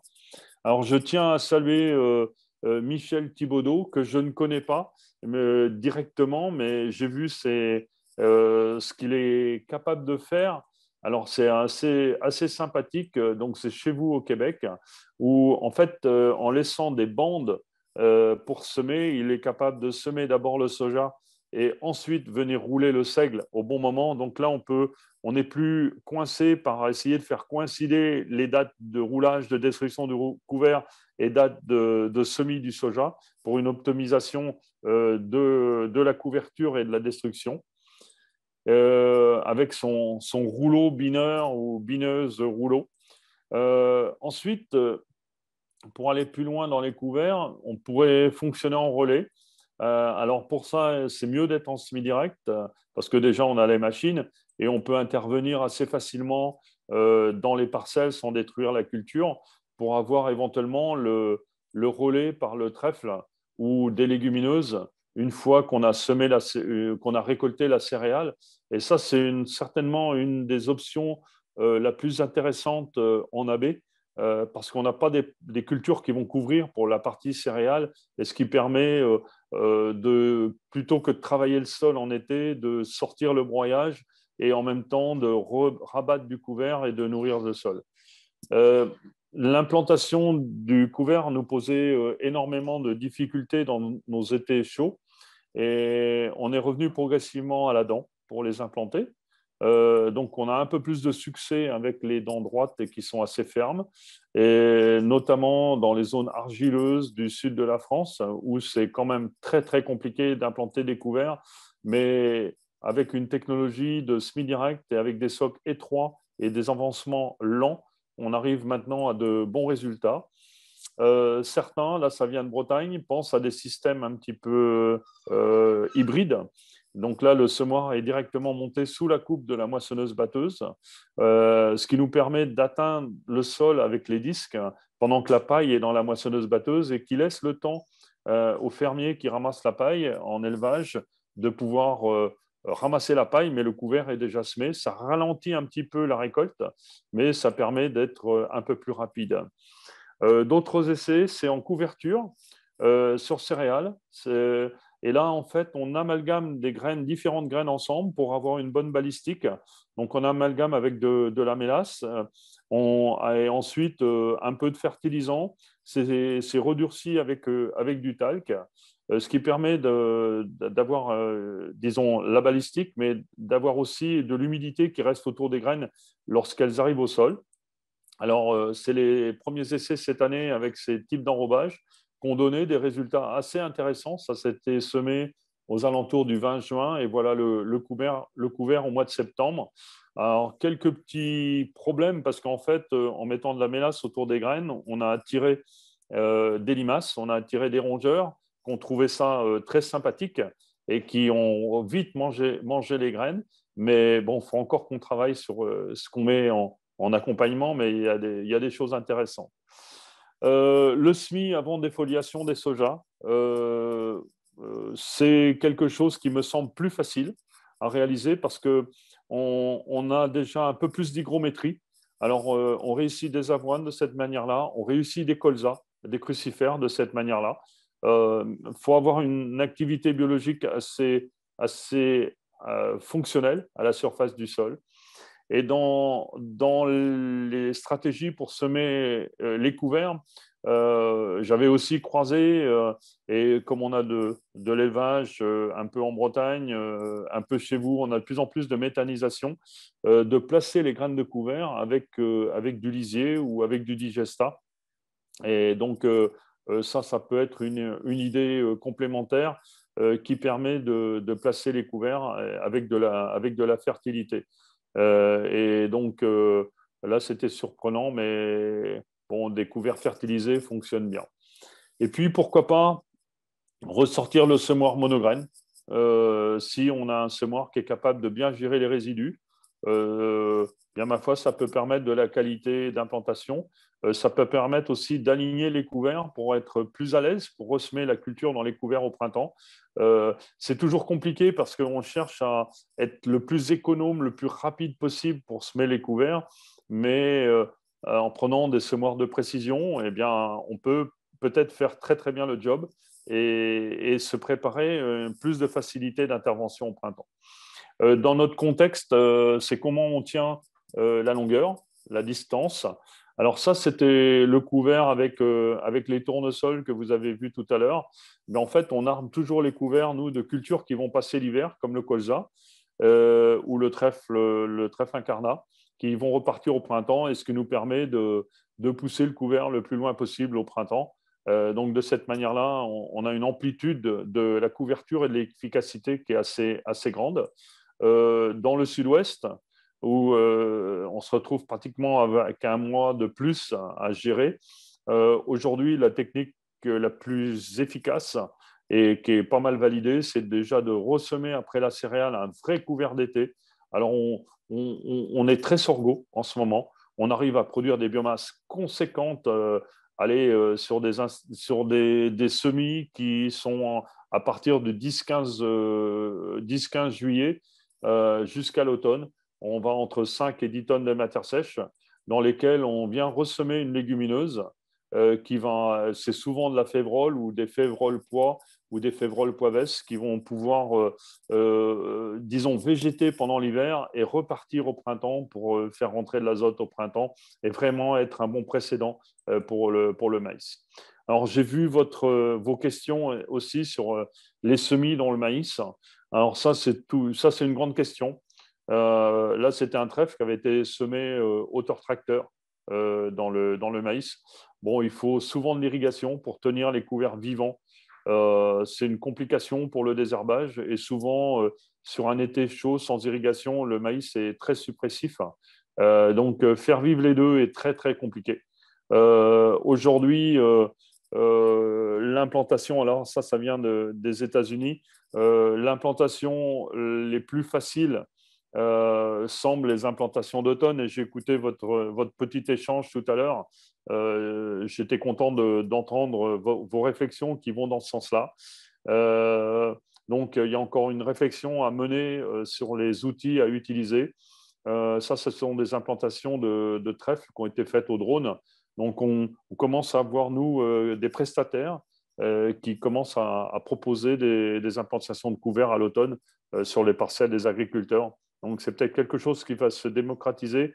Et c'est clair que c'est c'est plus à la fin de la période, à partir du moment où le maïs est en train de laisser un petit peu de la place et laisser de la lumière et qu'on retrouve de l'hygrométrie euh, dans le fond des parcelles, euh, c'est beaucoup plus propice pour installer le couvert.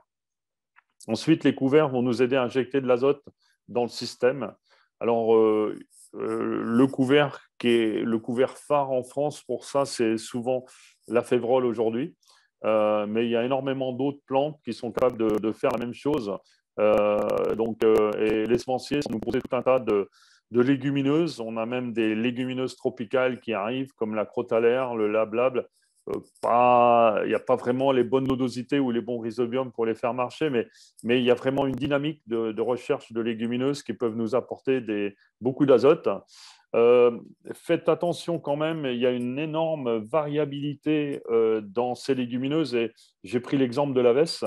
On est chez le même semencier euh, avec des vestes euh, très très différentes. Hein. par exemple, euh, je vais prendre la veste velue Massa, qui est plutôt une veste de, fin d'été, qui vous donne énormément de biomasse rapidement. Et si on la compare avec la veste titane, c'est une veste qui va être très postrée à l'automne et pendant l'hiver.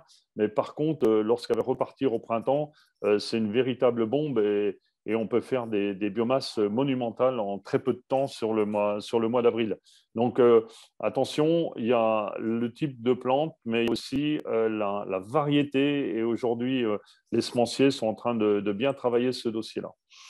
en termes de fixation d'azote, on fait un peu nos petits concours internes et notre recordman, donc c'est Jean Hameau dans le Gers et, Jean sur un couvert de Févrole Facili a quand même réussi un printemps à, rentrer 350 euh, unités d'azote.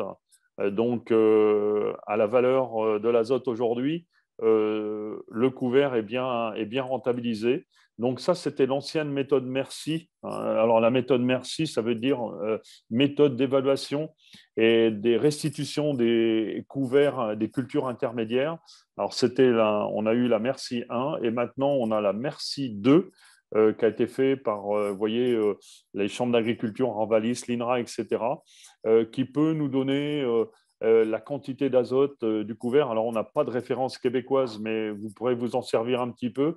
Et aujourd'hui, qui nous donne la quantité d'azote que l'on peut avoir à, à, 30 jours, à 90 jours, même à 150 jours. elle nous donne même aussi la valeur alimentaire, si on veut donner ça à des animaux. Euh, la valeur en méthanisation et même la quantité de carbone stable que l'on fixe dans le système. Donc, euh, c'est vraiment, disons, une, belle application et qui est libre d'accès. Alors après, euh, peut-être à vous de la rendre, de la rendre québécoise. Et puis, une chose est sûre, c'est qu'aujourd'hui, les gens qui ont suffisamment de recul, y a ce que vous pouvez voir dans la culture suivante, mais ce que l'on peut voir au bout de quelques années qu'on fait découvert est ce que j'appelle le volant d'autofertilité. Et en fait, ce que vous avez capitalisé, ben, progressivement, vous le retrouvez sur les cultures suivantes. Et en fait, on va plus parler en termes de flux qu'en termes de, quantité d'éléments pour la culture. on va doper aussi l'ensemble de l'activité biologique. Euh, que ce soit bah, les vers de terre, mais aussi euh, les mycorhizes qui vont pouvoir euh, venir aider la culture. On a un programme aujourd'hui de, recherche, entre autres avec une société québécoise, l'allemand, qui est de injecter des mycorhizes sous un couvert végétal qui va financer le développement du système du réseau mycorhizien sur lequel on pourra brancher le maïs, la culture l'année suivante et donc avec tous les avantages que peuvent nous apporter les mycorhizes. On va aussi bénéficier des exudats racinaires de différentes plantes. Et autour de la racine, en fait, euh, les plantes vont rejeter euh, des sucres, mais tout un tas de, de, de, produits qui accélèrent un peu la digestion et qui leur permet d'aller chercher des éléments euh, dans le sol. Il y a toute une activité biologique qui s'organise autour. Et, et donc aussi protection, une dynamisation. Très récemment, on a récupéré des informations, par exemple sur la févrole, et on a beaucoup de sols calcaires en France où on s'aperçoit que la févrole a, comme beaucoup de légumineuses, des exudats racinaires qui sont souvent très acides et qui améliorent la solubilité de beaucoup de nutriments et entre autres du phosphore dans les sols calcaires, alors que le maïs est plutôt euh, neutre, euh, voire plutôt basique au niveau de ces exudats racinaires. Et là, on commence à comprendre un petit peu mieux l'ensemble des effets positifs que nous apportent les couverts. Ce n'est pas que l'azote, ce n'est pas que l'activité biologique, il y a aussi des, choses un peu plus, un peu plus malines. Il y a un gros travail qui est fait aussi sur euh, la biologie, enfin orienter euh, la biologie pour lutter contre certains bioagresseurs du sol et entre autres l'effet biofumigation. ça, c'est des travaux qui ont été faits sur le tournesol, mais il y a des choses à peu près similaires qui sont faites sur, sur pommes de terre, qui sont faites aussi sur betteraves. Donc, on voit poindre l'idée que progressivement, le couvert végétal deviendra aussi un outil d'orientation de l'activité biologique du sol et d'orientation un petit peu de, des auxiliaires et du jeu entre auxiliaires et bioagresseurs. Alors, si vous avez un petit peu de temps pour aller plus loin, je vous invite à aller sur notre site internet. Euh, vous pouvez euh, télécharger en français. Il y a sept pages euh, avec différents mélanges de couverts qui vous permettent de, d'aller plus loin. Alors, il faudra adapter ça, bien sûr, euh, au contexte québécois. On a aussi euh, élargi euh, donc, et compilé un peu toutes mes connaissances sur un, sur un livre. Et ce qui m'amène à aller plus loin, la gestion de, cette, de ces couverts, c'est le meilleur endroit pour mettre une grande partie des, de la fertilité et entre autres des effluents d'élevage on a tendance à les concentrer au printemps, mais, mais au printemps, euh, on a un manque de temps, surtout chez vous. On risque de compacter les sols, alors que dans un couvert végétal bien implanté à l'automne, on va, on va moins risquer d'endommager le sol. Et puis, euh, la disponibilité en azote d'un effluent d'élevage, euh, si vous regardez le premier carré, là, c'est issu des recherches de Thierry Morvan de l'INRA de, de Rennes et de Quimper. Vous voyez qu'il y a sur 48 effluents d'élevage, il y en a même qui sont négatifs au niveau de leur rapport d'azote sur la première année. Ce serait la même chose avec des couverts. Donc, en, les mettant dans le couvert végétal installé, ils vont nourrir le sol, ils vont rentrer dans la dynamique d'activité biologique et de fertilité, et ils pourront être beaucoup mieux transmis euh, à la culture et aux cultures suivantes. Alors, soit dit en passant, si vous regardez le, le graphique de gauche, de droite plutôt, il y a 17 produits compostés. Et en fait, vous voyez que là, euh, la dynamique de minéralisation est très très faible. En fait, un produit composté, on a souvent euh, euh, retiré l'énergie fermentescible et donc sa capacité à évoluer assez vite dans le sol. Et en fait, il y a eu des travaux qui ont été faits par la Chambre de, Mayenne qui a tenté de fertiliser avec de l'engrais, même découvert, et ils ont montré qu'on augmentait de manière conséquente la biomasse découverte lorsqu'on les fertilisait, et qu'en fait, euh, cette fertilité, elle était retenue par les couverts et elle était redonnée euh, au printemps suivant sur la culture. Donc en fait, au moins au niveau des effluents d'élevage, il ne faut pas hésiter. Maintenant, pour la sortie du couvert, je suis favorable à sortir le plus tard possible le plus tard possible. Alors ça, c'est un petit peu tendu pour, euh, pour des cultures de printemps. Euh, mais en fait, euh, si on qualifie le couvert avec plus de légumineuses, ce qui est le cas un peu chez nous au printemps, en fait, c'est dans la dernière partie qu'on a la plus forte croissance et c'est dans les derniers jours qui précèdent le SMI où on rentre le plus euh, d'azote dans le système. Alors, bien entendu, il y a je l'ai entendu tout à l'heure, l'inquiétude sur euh, la gestion de l'eau. Hein. Mais il euh, faut arriver à jongler un petit peu entre les deux, apporter une couverture, rentrer de l'azote, apporter de la biomasse. Et on modifie quand même terriblement cet aspect gestion de l'eau. en fait, on va améliorer le racinement, on va augmenter la couverture et limiter l'évaporation future. Alors, il se peut qu'on manque un petit peu d'eau au départ, mais qu'on a un meilleur bilan d'eau global sur l'ensemble de la saison. On améliore aussi la capacité à rentrer beaucoup d'eau lorsqu'on a un orage. On a, on a sur une de mes parcelles euh, mesuré jusqu'à 100 mm, 100 mm de capacité d'infiltration après la récolte du maïs. Et en fait, on a, on a coloré euh, cette infiltration-là avec un bleu de méthylène. Et, en fait, on voyait très bien que c'était les galeries de verre de terre qui permettaient d'avoir cette très forte capacité d'infiltration et de recharge du sol. Et puis, euh, au-delà de ça, il faut se poser la question d'où vient euh, le carbone pour la photosynthèse. Et, si on regarde un cycle du carbone conventionnel, le carbone est en général recyclé par la vie du sol ou recyclé par des animaux, puis après la vie du sol. En fait, c'est toujours la respiration qui va renvoyer le carbone dans l'atmosphère sous forme de CO2. Et, en fait, euh, cette respiration-là permet de récupérer de l'azote, du phosphore, de la potasse et les autres éléments. et en fait, après, c'est la photosynthèse euh, qui va, euh, grâce à l'énergie solaire, qui va refixer ça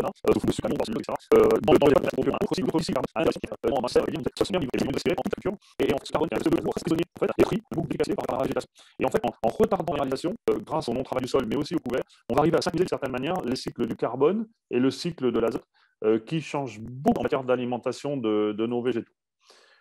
Toujours pendant qu'on est sur le côté carbone, bien comprendre que l'ingrédient principal de conception de notre végétation, entre 40 et 50 c'est du carbone.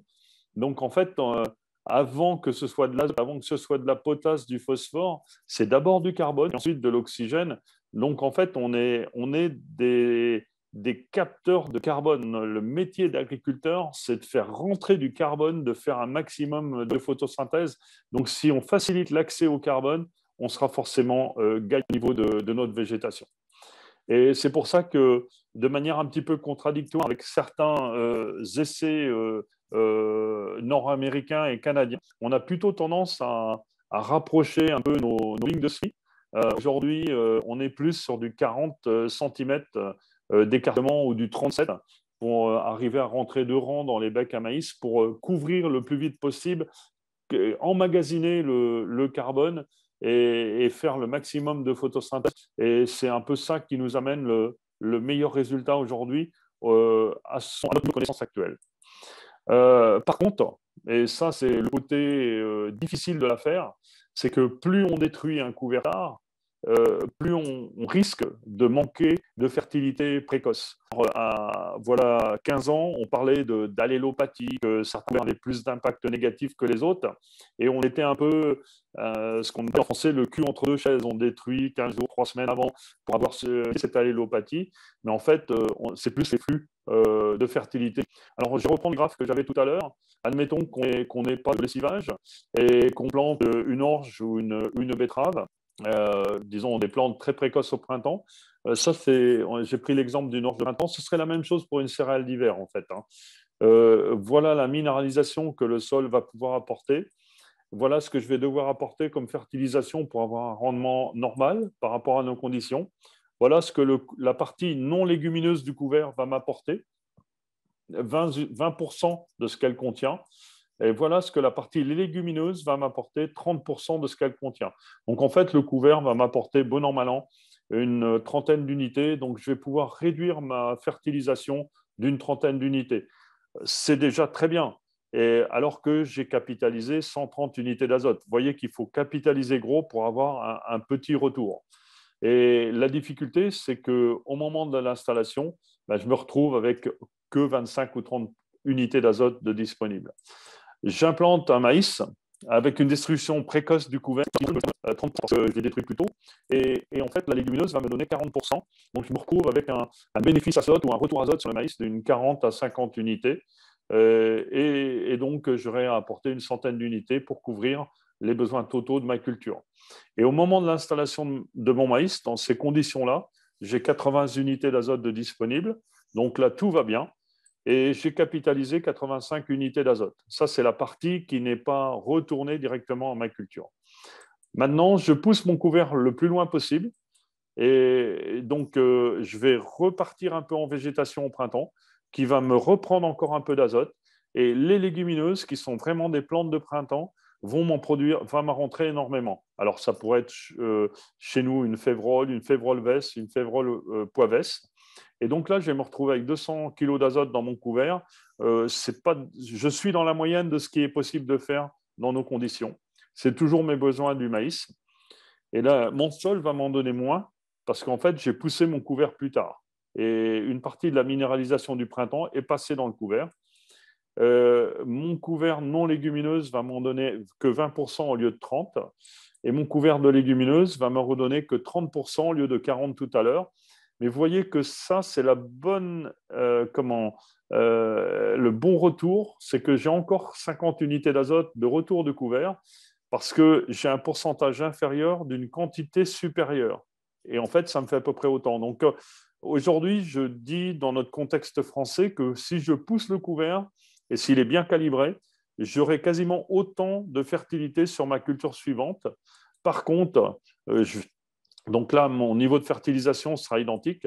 Par contre, au moment de l'installation de ma culture, j'aurai très peu d'azote disponible, d'autant plus que j'ai toute une activité biologique qui est en train d'exploser pour consommer, même si je suis en semi-direct, les racines euh, du couvert. Et donc ça me fait quasiment une fin d'azote au mauvais moment. Et donc là, je suis coincé va falloir que je localise. Par contre, j'ai capitalisé environ 150 unités d'azote. 150 unités d'azote, c'est une tonne 5 de carbone quand j'ai rentré dans mon sol. Et, en fait, on, s'est gratté la tête pendant de longues années et on, voyait toujours des grandes quantités d'azote euh, dans nos couverts végétaux, euh, des grandes quantités d'éléments minéraux, mais on avait, on avait du mal à comprendre qu'en fait, le niveau d'azote disponible était très faible. Et en fait, euh, si on reprend tout ce que je vous ai montré, on s'aperçoit que sous les couverts, on est souvent à 20, 30 unités d'azote de disponibles, même lorsque l'on a des légumineuses. Ça, c'est des, chiffres qui viennent de Belgique. Il y avait 124 unités à la sortie du blé. On met une moutarde, on n'est qu'à 24 unités d'azote. Vous voyez, on passe d'un excès d'azote à une carence en azote. Et là, on est euh, au Minnesota, euh, aux États-Unis avec un couvert permanent de trèfle. Et le trèfle a capté toute l'azote à la fin de culture. Lorsque le maïs rabat un petit peu, le trèfle recapte toute l'azote avant d'en fixer. Donc, euh, il faut être logique. Euh, c'est que plus on poussera le couvert loin, même avec des légumineuses, il faudra qu'on localise pour assurer suffisamment de fertilité pour faire partie la faire partir la culture. Et ça, c'est vraiment un des points compliqués à comprendre. Pour terminer, euh, avant de fertiliser, regardez la taille des graines. Euh, ça, c'est des grains euh, de 400 grammes et des grains de 200 grammes de, poids des 1000 grains. et en fait, j'ai fait pousser ça sur du sable, du sable pour faire du ciment, et, sans, simplement en arrosant, sans, sans apporter de, fertilité exogène, on obtient des différences très importantes au niveau du développement. Euh, donc, en clair, euh, si on veut donner encore plus de chance à notre culture, euh, dans un, système où la fertilité au démarrage est souvent trop faible, on a intérêt à semer des grosses graines. Et il y a quelques semenciers en France qui commencent à fournir des, graines, en fait, de, faire un, screening par rapport aux graines. Et puis, ben, ce que l'on cherche toujours, c'est le priming effect, l'effet d'amorce.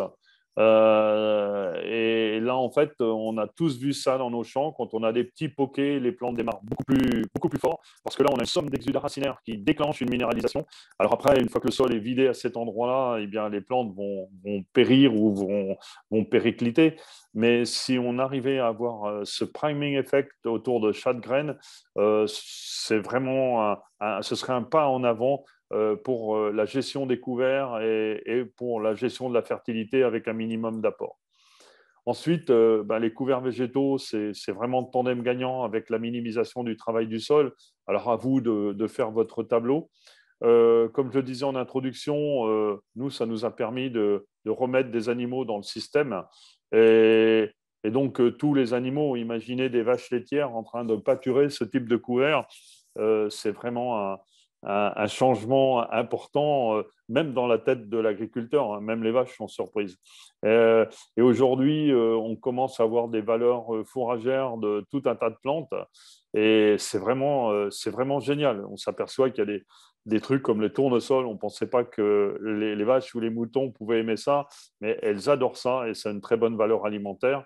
Je ne parle pas des, légumineuses, voire des crucifères.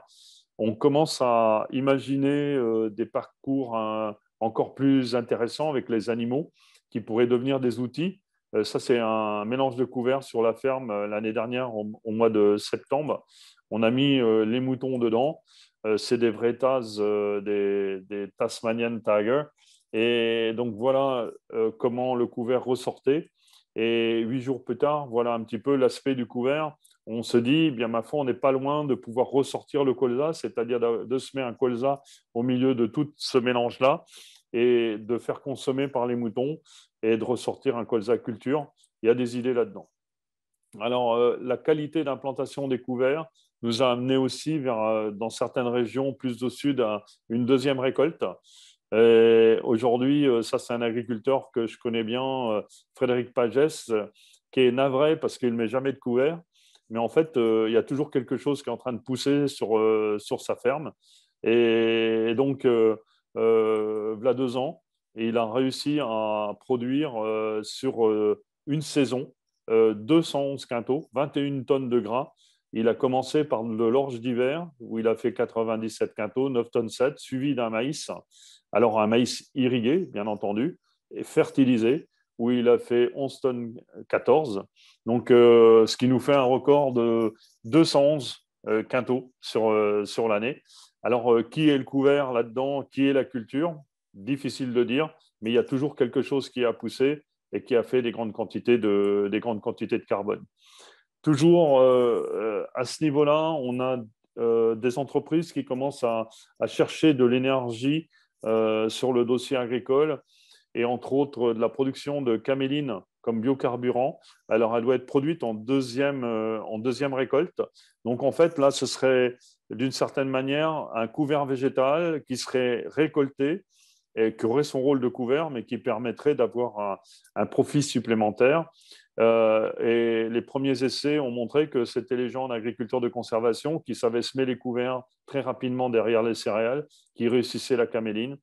Ça nous a permis aussi des fois d'être euh, euh, opportunistes. c'est le même couvert que chez moi avec les tournesols et où il y avait les moutons, mais voilà quelques années, tout a gelé.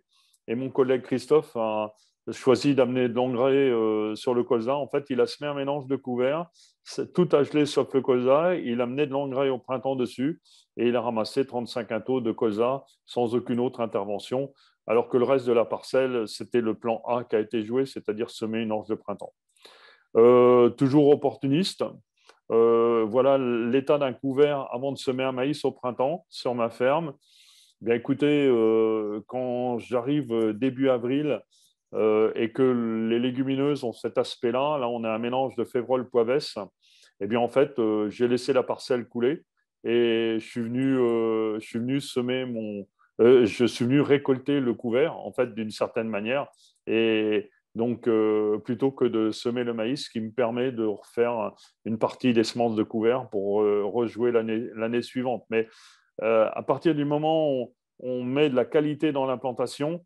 À partir du moment où on, laisse courir le couvert au printemps et qu'on se donne de la flexibilité, eh bien, ça permet beaucoup de choses. Euh, c'est le style de stratégie qui va être très payante cette année avec des prix, d'azote que l'on a. Eh bien, vous imaginez que euh, d'implanter un maïs et de dépenser 400 euros dans la fertilisation, alors qu'un couvert qui, en fait, il n'a rien coûté ou tous les coûts sont dedans puisqu'on l'a semé, ben, autant pousser plus loin lorsque ça joue et de le récolter. Je vais terminer avec euh, ce que j'appelle le carbon story. Euh, donc, euh, je ne vais pas trop vous parler réchauffement climatique parce qu'on est à peu près d'accord là-dessus, mais on s'aperçoit qu'en fait, il y a des fluctuations importantes entre l'été de l'hémisphère nord et, et l'hiver en fluctuation carbone, et parce que la majorité des terres immergées sont dans l'hémisphère nord. Et donc, on voit bien la capacité de la photosynthèse à rentrer du carbone. Donc on se dit, si on était un petit peu meilleur en termes de photosynthèse, on pourrait rentrer encore plus de carbone.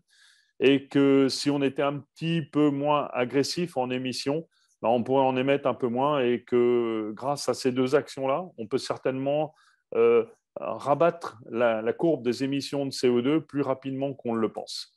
à ce niveau-là, on a fait quelques mesures l'été dernier. donc, c'était lors du salon Tech Bio, où la, zone qui était travaillée en plein après-midi, il faisait 31 degrés dehors, c'était début septembre, le sol faisait 47 degrés et la zone sous couvert, le sol faisait 29 degrés Celsius. Donc, euh, non seulement on, peut travailler sur le carbone à moyen terme, mais on peut travailler à refroidir euh, les sols pendant, euh, pendant l'été et on peut faire des choses très intéressantes. Et c'est pour ça que je dis que la couverture végétale, c'est simple comme le bon sens paysan. Il faut récolter le soleil pour cultiver la pluie. Et beaucoup d'acteurs s'y mettent chez nous. Là, on est chez Nataïs, un, producteur de popcorn. Euh, donc, c'est pareil, euh, ce qu'ils appellent le green tillage, euh, c'est pousser le couvert jusqu'au bout. Alors, les couverts sont alignés. Vous voyez, il y a fertilisation pour installer le couvert. Il est détruit au moment du semis. On est sur des sols argileux du sud de la France. Alors, il y a la sécurité d'irrigation derrière, mais aujourd'hui, ils commencent à rémunérer les couverts à 20 euros de la tonne de matière sèche. Et en fait, euh, j'étais avec eux la semaine dernière. Euh, l'idée, c'est d'utiliser euh, les satellites Sentinelle qui mesurent la biomasse pour arriver à suivre l'ensemble des couverts de leurs producteurs de, maïs. sur mon exploitation, on aime bien semer du maïs dans le verre comme ça. En général, le mois d'avril est assez sec et on prend souvent beaucoup d'eau sur le mois de mai. Donc, ça marche généralement très bien. Euh, et, en fait, on a fait une évaluation de la quantité de, CO2 que l'exploitation était capable de capter. Euh, pour 2020, j'étais à moins 176 tonnes de CO2. Euh, donc, j'espère toucher quelques crédits carbone avec ça. mais ça représente, avec ma voiture qui émet 150 grammes de CO2 au kilomètre, environ 1 200 000 kilomètres. Donc, euh, je peux me permettre, euh, grâce à, ma ferme, euh, de faire quasiment trois fois le tour de la, planète avec ma voiture. donc, je, me sens plus à l'aise aujourd'hui quand, je me déplace. Et puis, j'ai terminé par, par ça. C'est aussi un formidable outil de communication. donc, vos parcelles montrent que vous faites différemment. Ça attire l'œil des gens. Euh, là, c'est un petit groupe qui travaille avec moi sur la ferme. On arrive à réunir euh, des chasseurs, des protecteurs des oiseaux, la LPO, euh, des apiculteurs, des agriculteurs, des propriétaires, des, spécialistes des insectes. Et on arrive à mettre tout ça ensemble dans des champs de couverts parce qu'en en fait, on s'aperçoit que bien, tout le monde retrouve un peu son intérêt dans cette forme d'agriculture. Euh, donc, autant de continuer à la développer. On a aussi euh, progressivement abandonné les fameux concours de labour et aujourd'hui, on commence à voir les, concours de couverts végétaux. Alors, c'est un peu plus compliqué parce que euh, faut aller voir dans les champs, juger ce que les agriculteurs ont fait, mais c'est très, très intéressant quand même. Et en fait, ce sera ma dernière diapositive. globalement, on est contraint à, l'intensification de la photosynthèse euh, pour produire de la nourriture. Faut pas de la nourriture, mais également des fibres. Il euh, ne faut pas qu'on oublie euh, ce rôle important de l'agriculture. multiplier des semences, parce que ça, va être un des grands, intrants des années à venir. produire du fourrage local. On le voit bien avec les animaux sur la ferme. Euh, désolé, mais euh, les vers de terre euh, fonctionnent avec de la biomasse et hydrogène CO2. également alimenter les écosystèmes environnants, que ce soit les abeilles, que ce soit les mycorhizes, que ce soit les chevreuils, que ce soit les perdrix, les oiseaux, etc., voire même les sangliers qui m'embêtent un peu des fois. produire de la vraie énergie renouvelable. je regardais un bilan énergétique de l'agriculture française. Et on est pratiquement à 1 pour 4 aujourd'hui. Euh, c'est-à-dire que lorsqu'on met euh, une unité énergétique euh, dans l'agriculture, on en retire quatre aujourd'hui, toute production confondue.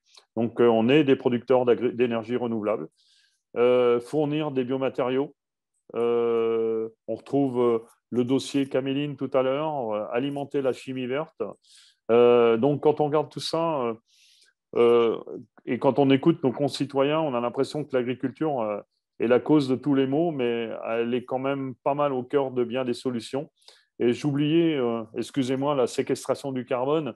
donc, la COP 21 à Paris avait lancé le 4 pour 1000.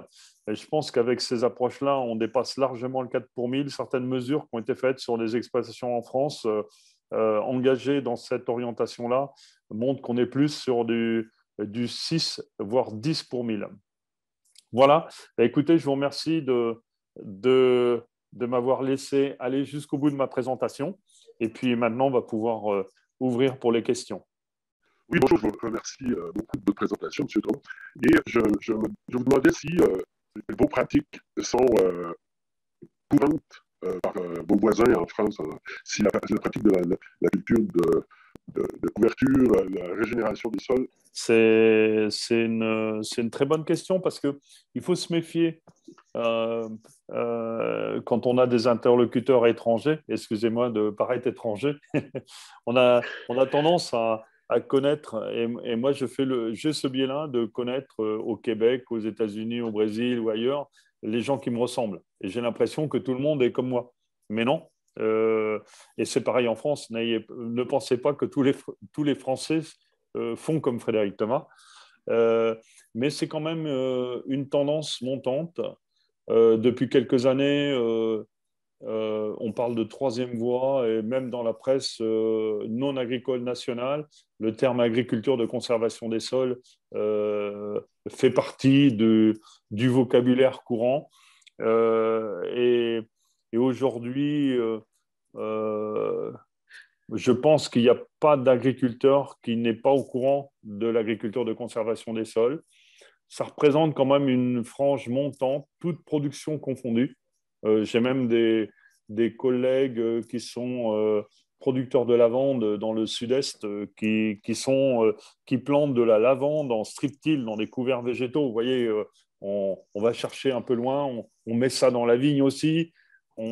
Comme euh, en Martinique, Guadeloupe, on produit des bananes et de la canne à sucre. On met ça aussi euh, euh, dans la banane, dans la canne à sucre. Donc, ouais, c'est vraiment une, pratique qui a une belle dynamique. Alors, tous mes voisins ne font pas ça, mais une partie de mes voisins sont, sont bien embarqués et puis bien ailleurs aussi. Hein.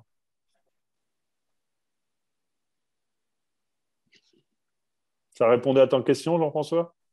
Ah oui, c'est vraiment. Euh, c'est ce qu'on vit chez nous aussi. On a l'impression que, on, vu qu'on est dans notre monde, comme vous dites, on ne voit plus à l'extérieur, mais quand on regarde comme il faut, le mouvement, il, est là, mais il est quand même petit. Ouais, alors ce qu'il faut dire aussi sur ce mouvement-là, c'est qu'en fait, euh, il, a, il, a, quand même été initié par les agriculteurs. Il n'y a pas eu d'aide extérieure, il n'y a vraiment pas eu de soutien. Alors, on a fait euh, l'agriculture de conservation un petit peu partout sur la planète. Très bien. On avait aussi une question de M. Jean-François Hidel. Donc, euh, je suis concentré, mais bon, euh, moi, c'est la, deuxième partie. Donc, oui, au cours du côté des secteurs, c'est bien, mais maintenant, à Paris, comment est-ce que les gens voient la culture de, conservation? Il me semble qu'on entend seulement parler que le bio est, est, la, est la seule et unique agriculture d'intérêt. Est-ce que la communauté la société, que ce soit européenne ou française, commence à reconnaître les bienfaits d'une agriculture raisonnée. J'aimerais bien prendre un joker pour euh, cette question-là, euh, Jean-François. Hein. Euh, en ce moment, on est en, je ne sais pas si vous avez entendu au, Québec, mais on est en, pleine élection présidentielle. Et donc, je dirais, tout le monde y va avec avec ces, idées. Et c'est terrible parce qu'il y a énormément de gens qui connaissent rien à l'agriculture et qui ont vraiment des, bonnes idées pour faire de l'agriculture. Et à beaucoup de moments, j'ai envie de leur dire, bah, écoutez, moi, je vous laisse les clés. Hein. Venez me montrer pendant deux ou trois ans. Et puis, euh, on en reparlera après. Mais venez me montrer avec votre portefeuille. Hein. Parce que c'est facile de, Paris de dire, euh, il n'y a qu'à faire comme ça. Euh, effectivement, énormément de ces, de ces représentants, de ces politiciens ont que l'agriculture biologique. Hein, et, en fait, euh, l'idée est d'une certaine manière survendue. Euh, et, et, on voit bien, chez, par contre, il y a un mouvement qui est en train de s'émerger chez des gens plus raisonnable, je dirais. comme on, a vu un renversement assez intéressant sur le nucléaire, où en fait, pour faire simple, à la dernière élection présidentielle en France, il y avait deux questions qui étaient posées au débat entre les différents protagonistes. Êtes-vous pour ou contre le glyphosate? Êtes-vous pour ou contre le nucléaire? Et en fait, le dernier président de la République, on l'a élu euh, parce qu'il était contre le glyphosate et il était contre le nucléaire. Hein, voilà, c'est pour faire assez simple. Et aujourd'hui, ce même président de la République a, vu la crise énergétique, vu euh, la nécessité euh, d'aller, de, réduire les émissions de carbone a, commencé à, revoir sa copie au niveau du nucléaire et c'est certainement une solution transitoire intéressante et c'est euh, ridicule de s'en passer. Euh, et au sein du gouvernement et, entre autres au niveau du ministre de l'Agriculture que l'on a, Julien de Normandie, l'agriculture de conservation est très bien euh, comment, maîtrisée euh, et, de plus en plus de gens, même de journalistes non agricoles, euh, ont une idée euh, assez claire de la puissance de l'agriculture de conservation, notamment par rapport à la conservation des sols, notamment par rapport à la biodiversité et en plus au niveau de la séquestration du carbone. Si je peux me permettre, le dernier point, c'est au niveau de l'épicerie. Alors, quand on va au supermarché, est-ce qu'il y a un espace pour, euh, pour ça? Non. Non. Il y, a, il y, a, quelques personnes qui ont commencé à faire des labels. Euh, il y a une bière euh, qui est labellisée agriculteur de conservation. Il y a un groupe d'agriculteurs, l'APAD, qui a essayé de lancer un label au cœur des sols, mais pour l'instant, c'est, pas, ça n'a pas fait sa place. Quoi. Ça pas fait sa place. Comme vous aviez, voilà, euh, voilà quelques années, vous aviez eu aussi un, label hein, qui, avait été lancé par vous euh, au Québec. Je crois que c'était Semi-Direct ou non, c'était Action Semi-Direct qui avait lancé le label. C'est Sol Vivant. Sol Vivant, ouais. C'était une belle initiative, mais c'est toujours très compliqué de, lancer un label et il faut, faut communiquer très fort euh, sur ce qu'on enlève et, ce que les autres utilisent. Donc ça, ça apporte beaucoup trop de distorsions au sein du monde paysan et moi-même, je ne suis pas hyper favorable à ça.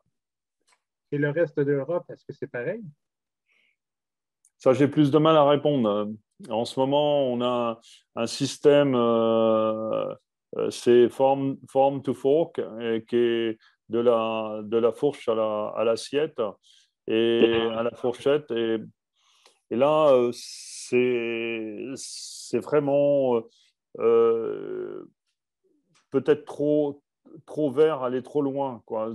Et on a l'impression que l'Europe pour avoir une agriculture soi-disant verte ou plus verte, est en train de sacrifier des pans entiers de son agriculture.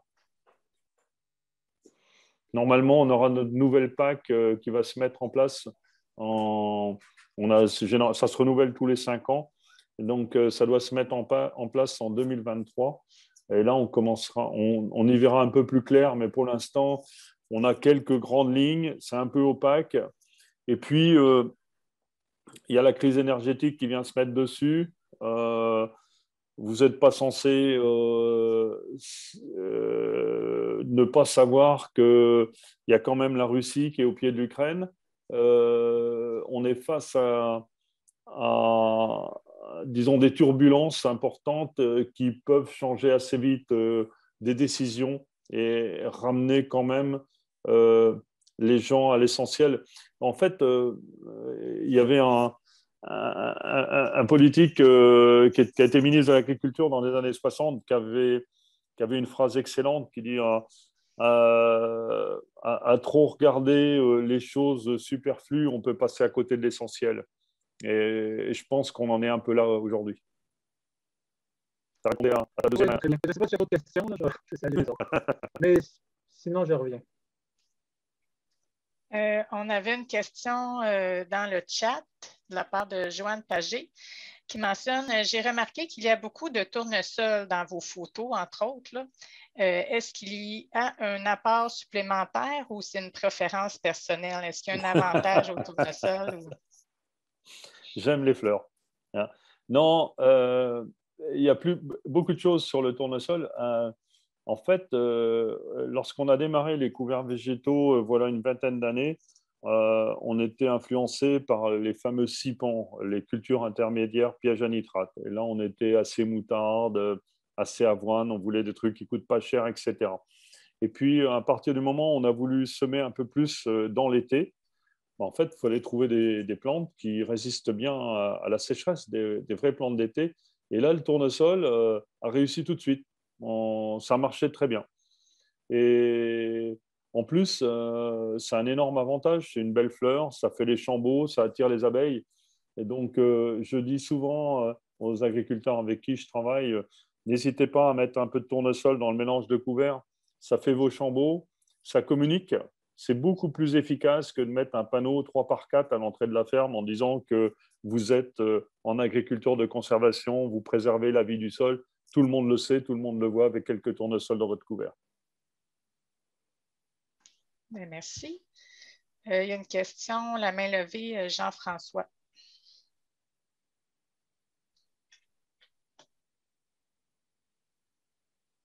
Jean-François, il faut ouvrir ton micro.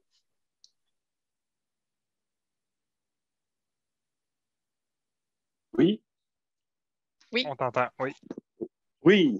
Euh, vous avez fleuri les crédits de carbone. Est-ce qu'il y a une politique pour les crédits de carbone ou si euh, c'est votre calcul de votre ferme qui vous situe, où vous vous situez? Et vous appelez tous Jean-François au Québec ou quoi là? Pas toujours le même. ouais. Euh, Ok. bon.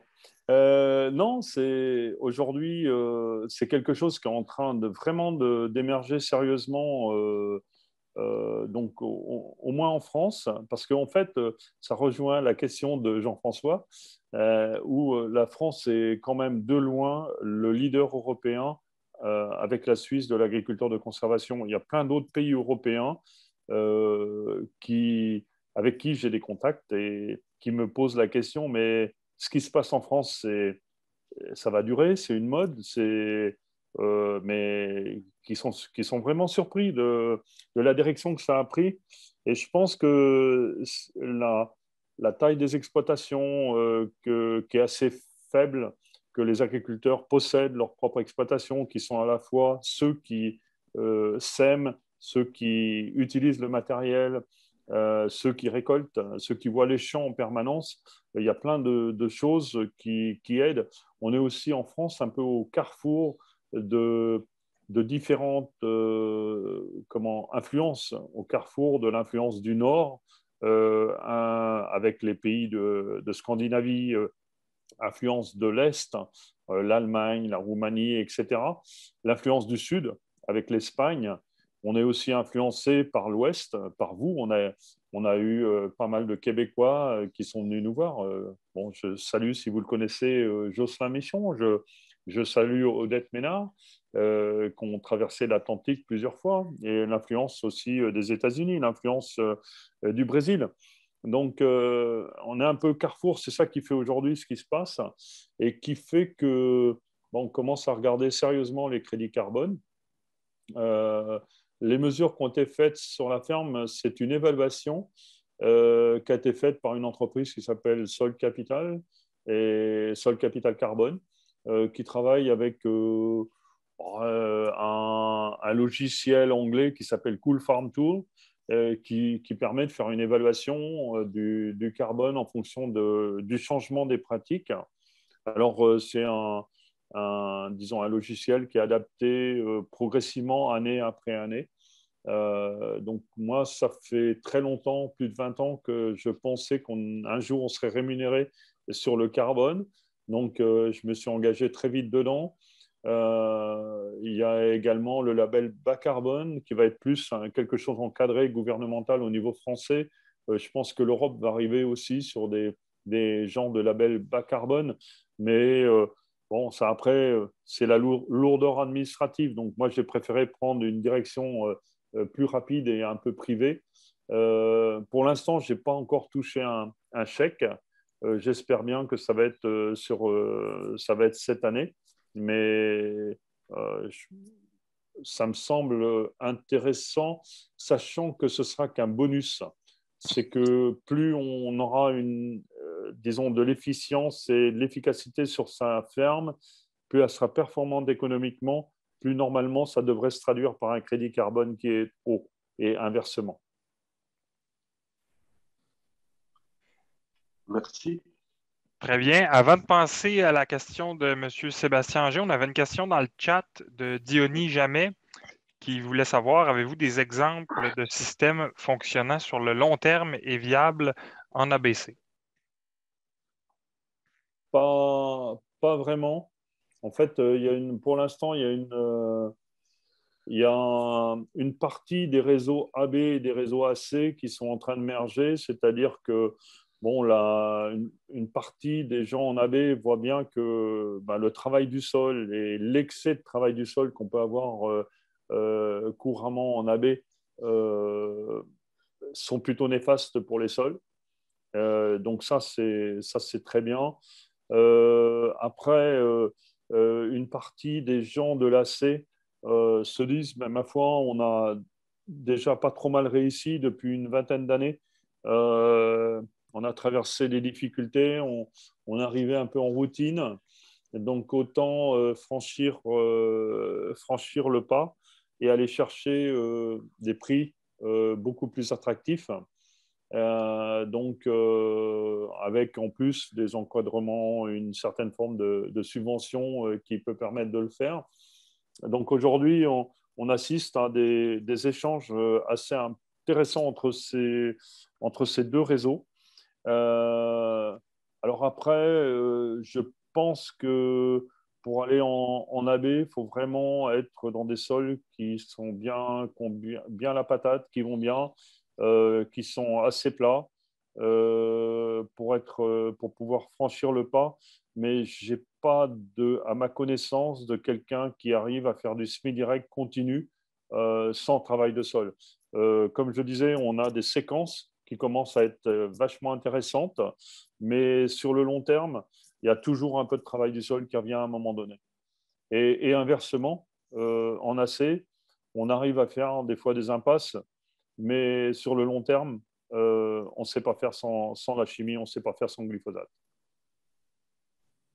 Très bien. Ce serait à M. Sébastien Anger. Oui, Frédéric, toujours impressionnant. Euh, la qualité des conférences, j'adore toujours t'écouter. Tu es toujours aussi pertinent. Ce que je voulais te remercier, là, euh, talent de vulgarisateur. Merci. Bonjour, bonjour Sébastien, déjà. Ça me fait plaisir. Moi, je crois beaucoup à, la notion de signature carbone puis signature de biodiversité que l'agriculteur a en termes de résultats. Puis, je crois beaucoup à la, notion de la biodiversité soutenue par la communauté. Puis là, je vois apparaître en France toute la certification HVE. J'étais curieux de savoir comment tu, perçois la certification HVE dans son, impact sur l'application de l'agriculture de conservation en France, puis les, relations sociales que ça vient en, échange entre les agriculteurs, les agronomes, et ainsi de suite. Alors ça, c'est encore une fois, c'est une question. J'aimerais prendre un joker, euh, Sébastien. Alors, euh, je reviens à ce que j'ai dit, euh, tout, ce qui est, tout ce qui est label, c'est toujours euh, très, très, très, très compliqué. Et, en fait, euh, la difficulté, c'est que pour arriver à faire plaisir à tout le monde, on, fait une grosse machine. et puis, on est obligé de se faufiler des fois pour arriver à rentrer dedans.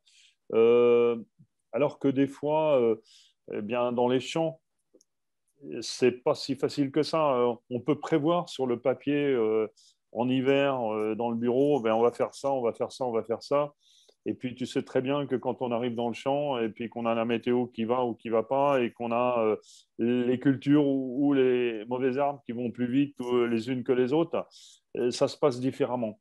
et que le métier de paysan, c'est constamment s'adapter. Et, et, ça, je, je trouve que c'est toujours complexe de rentrer dedans. Alors, HVE, je regarde un petit peu parce que la nouvelle PAC va m'obliger à prendre des décisions par rapport à ça. Il va y avoir un volet vert qui va être très important.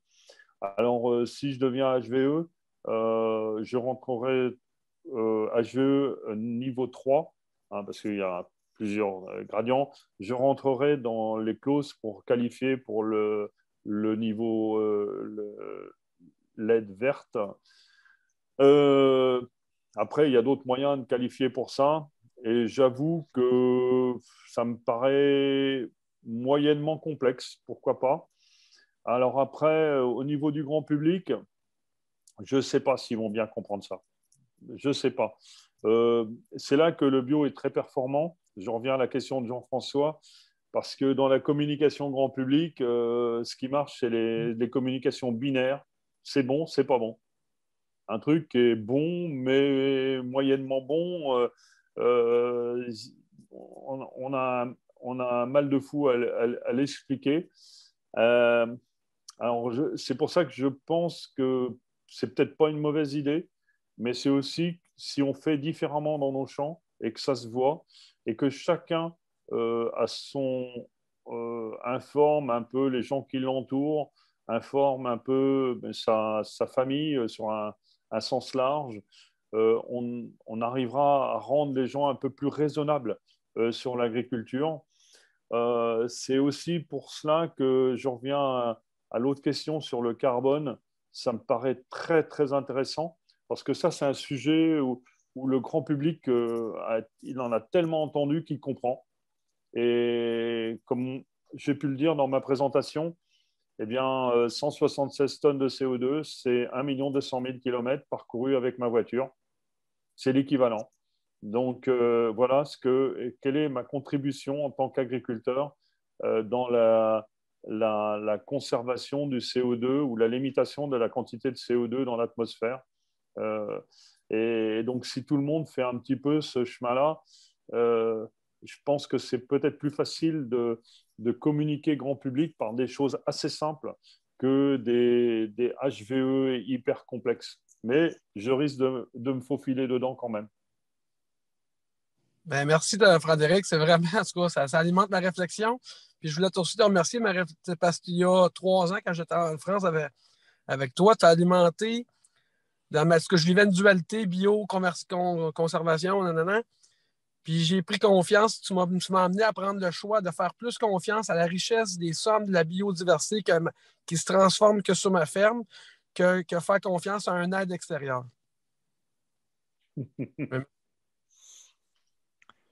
Très bien. Sébastien. On avait également une question de M. Euh, Jean-François Messier. votre main n'est plus levée. Je ne sais pas si vous avez toujours une question. Oui. Euh, vous avez, eh merci beaucoup pour la présentation. Euh, vous avez parlé que les initiatives, le travail s'est fait par les producteurs qui ont. Ça a été vraiment un travail de producteurs qui sont réunis ensemble avec le temps pour euh, construire euh, ce que vous nous avez présenté. Je vois beaucoup d'argent qui arrive tant au Québec des initiatives gouvernementales pour pouvoir qu'on prenne des virages. Euh, de quelle façon on peut continuer à prendre du leadership sans tomber dans des logiques de programme, sans tomber dans des, priorisations gouvernementales, mais qui ne seront peut-être pas collées avec la réalité de nos champs, la réalité de terrain, de quelle façon on peut travailler ensemble dans le cadre du HDE ou dans le cadre de d'autres labels ou peu importe, euh, pour continuer à faire évoluer l'agriculture de conservation? excellente question. Hein. Merci. C'est Jean-François aussi, un Messier, hein, c'est ça? Enchanté. Hein. Euh, en fait, je pense, excusez-moi, je pense que, euh, c'est pas que je pense, je suis persuadé qu'il faut qu'on fasse confiance aux agriculteurs. Il faut qu'on remette une grande confiance aux agriculteurs. Et en fait, beaucoup de gens ont perdu. On veut euh, transférer les bonnes idées aux agriculteurs. Non, il faut faire confiance aux agriculteurs. faut que c'est. je vais vous donner un exemple pour ça, et puis je reviendrai sur le, côté financement après. J'habite en Bretagne. On a depuis 40 ans un gros problème d'algues vertes, de pollution de l'eau. On est rendu au septième plan nitrate. On a éliminé beaucoup d'élevages, on a mis des couverts végétaux, on a, on a couvert des plateformes pour le fumier, les fumières, on a encadré les dates d'épandage. Aujourd'hui, il faut commencer le, 1er avril. Le, donc, euh, le, 30, le 30 mars, euh, si les conditions sont super bonnes pour épandre, eh bien, vous ne pouvez pas épandre. Il faut commencer le 1er avril et il se peut qu'il commence à pleuvoir le 1er avril alors que vous allez faire un travail euh, pas très bon, alors que huit jours avant, le travail était bon. Euh, c'est comme si on, vous donnait aujourd'hui la, date de semis de votre maïs ou la date de semis de votre soja ou la date de semis qu'il faut faucher les foins. Et vous savez comme moi, en tant que producteur, que même avec les meilleures informations, en regardant la météo, tout ça, on arrive à se tromper. Donc, euh, il y a un moment donné, il va falloir quand même qu'on donne aux agriculteurs des objectifs à atteindre, mais qu'on soit plutôt sur une politique de résultat. Euh, par exemple, par rapport à la gestion de l'eau et au nitrate dans l'eau, les Belges avaient mis au point un système d'APL, c'est-à-dire d'azote potentiellement lessivable. C'est-à-dire qu'on pouvait venir carotter dans votre champ et on vous dit, monsieur l'agriculteur, tu mets l'engrais que tu veux, quand tu veux, le fumier que tu veux, quand tu veux. Le couvert, tu laboures ou tu laboures pas. Par contre, il faut que tu atteignes un niveau d'azote dans ton champ au mois de euh, septembre, au mois d'octobre, au mois de novembre, au mois de décembre, qui correspond à ce qu'on a réussi à faire dans des parcelles qui sont censées être bien gérées. Et, en fait, on redonne de la liberté à, l'agriculteur pour qu'il joue euh, dans son contexte climatique avec ses moyens et ses connaissances. Et, je pense qu'on gagnera beaucoup à, faire confiance aujourd'hui, faire beaucoup plus confiance aux agriculteurs plutôt que euh, de leur euh, dire ce qu'il faut qu'ils fassent. Ensuite, l'argent qui est dirigé, et c'est bien qu'il y ait des fonds, c'est bien qu'il y ait dans l'encadrement, il faut qu'il soit utilisé à définir cette politique d'objectifs de résultats et non de moyens, et qui soit aussi dirigé à, permettre une, une, éducation, une formation, une montée en connaissance des agriculteurs pour qu'ils soient plus capables de gérer eux-mêmes et d'inventer euh, ou d'innover euh, les pratiques de demain, plutôt que de toujours être dans le parachutage, le, top-down euh, qui ne marche plus aujourd'hui. Eh bien, merci. On avait également une question de Julie Bro du MAPAC. Oui, euh, j'en profitais pour euh, faire le lien avec la réponse de M. Thomas. je me disais que le, le PAD, qui est notre plan d'agriculture durable au ministère, que le ministère vraiment mettre les producteurs au cœur de la démarche, en fait, dans, dans, dans les dont j'ai parlé en début de, journée, là, dans les cohortes régionales en agro-environnement, je pense que les producteurs vont être mis de l'avant. Il y a des cibles qui ont été définies, mais je pense que les, producteurs, pour arriver, c'est eux qui vont mettre en place les pratiques pour arriver à ces cibles. On va voir ce que l'avenir nous réserve, par contre, mais euh, j'espère que ça, ça, va, euh, ça va être garant d'un bon succès de ces démarches. Ça va être de continuer de collaborer avec vous. Alors. Euh, mais ma question, c'est plus par rapport au couvert végétal. Vous avez fait mention, et je ne sais pas si vous avez entendu euh, Mme Thibodeau avant vous. Euh, J'avais l'impression, c'est ça que souvent vous semez dans les couverts, vous tardez à les détruire avant l'implantation de la culture principale. nous, au Québec, on a eu, entre autres, les deux derniers printemps, des printemps relativement secs. Puis, entre autres, quand on fait un semis de sec, par exemple, en fin de saison, on d'ensemencer un, un champ de maïs au printemps. Si on attend trop, le, sec va pomper beaucoup. Puis, on dirait que ça nuit à la. Mais vous avez mentionné des fois que, tu sais, j'ai eu l'impression que vous avez mentionné que oui, ça pouvait faire ça, mais que c'était gagnant quand même sur le reste de la saison. Le couvert végétal allait améliorer. J'aimerais ça vous entendre. Puis j'aimerais peut-être ça aussi, à la suite de votre réponse, entendre des producteurs par rapport à, ce commentaire-là. Merci euh, pour cette question. Alors, euh, c'est vrai que c'est un point extrêmement compliqué, euh, le semis de printemps. Et, en fait, je vais vous répondre par différents, différents niveaux. le premier, et il faut accepter lorsqu'on construit et qu'on travaille avec un, disons une approche, euh, que l'approche que l'on met en place, euh, elle va être fonctionnelle que 8 années sur 10. Il y, aura des années où ce ne sera pas aussi performant que cela.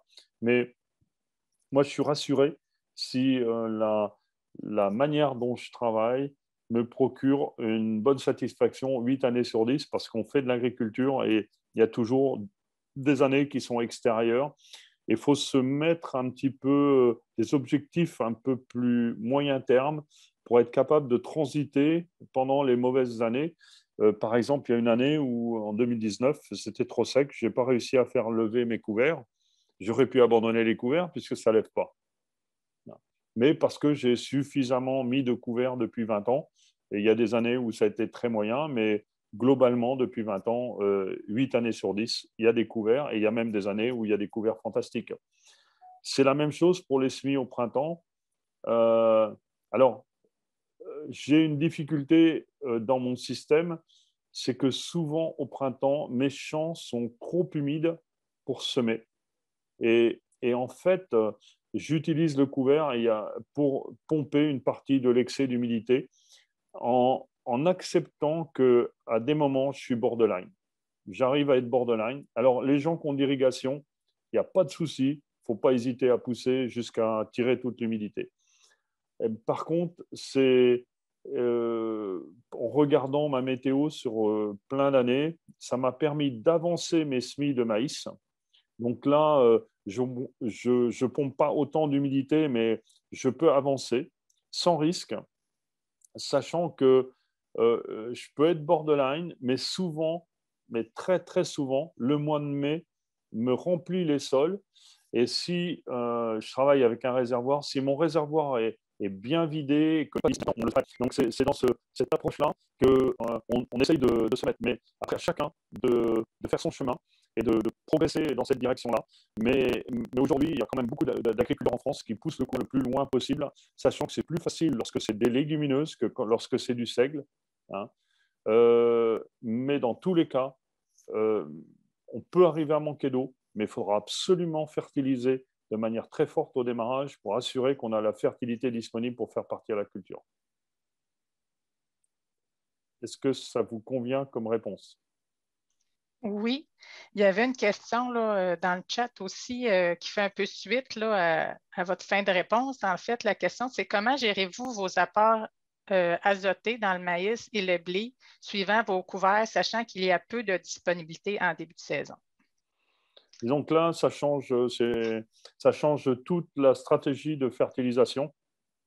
C'est-à-dire que pour le, pour le maïs, c'est localisation au moment du semis on a à peu près 20-30 unités d'azote de localisées. Et puis après, euh, c'est la totalité de la fertilisation qui sera appliquée sur le maïs sera appliquée non pas par rapport à un stade, mais sera appliquée par rapport à des conditions d'application. C'est-à-dire que si dans les deux jours qui suivent le semis, on m'annonce euh, un brouillard, une pluie, euh, j'épand toute mon urée. si c'est 15 jours après, c'est 15 jours après c'est pas le stade de ma culture qui conditionne mon application, c'est les conditions d'application pour minimiser les pertes par volatilisation et rentrer l'azote dans le sol, sachant que cet azote-là va être ralenti dans le sol. Il y a toute l'activité biologique, les résidus, euh, qui, va, qui va commencer à, en prendre une partie avant de la redonner plus tard à la culture. Donc on est toujours dans l'anticipation. Alors, euh, pour les céréales, pas chez moi parce que je n'ai pas les sols qui sont assez performants pour cela, mais sur des sols qui fonctionnent bien, euh, un peu plus profonds que les miens, avec une vingtaine d'années de recul en agriculture de conservation, on apporte euh, un peu à l'automne au moment du semis. Et en fait, la totalité de l'azote, au lieu d'être apportée en 3 quatre apports au printemps, elle est apportée en un seul apport de manière assez précoce. Parce que là, c'est pareil. Euh, souvent, au mois d'avril, ben, lorsqu'il faut apporter l'azote sur le blé, on est sur une période sèche et l'azote ne fond pas, rentre pas dans le sol et on a pas mal de volatilisation. Donc, autant l'apporter plus tôt qu'elle rentre dans le sol, et c'est là le sol qui va la redistribuer progressivement dans tout euh, l'ensemble de la culture.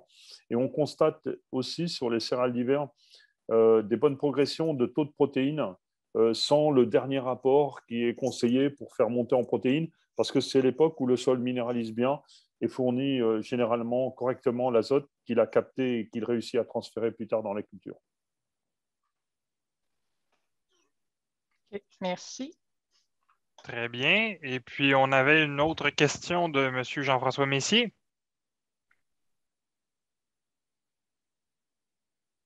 Tu n'as pas ton micro, Jean-François. Votre micro, monsieur.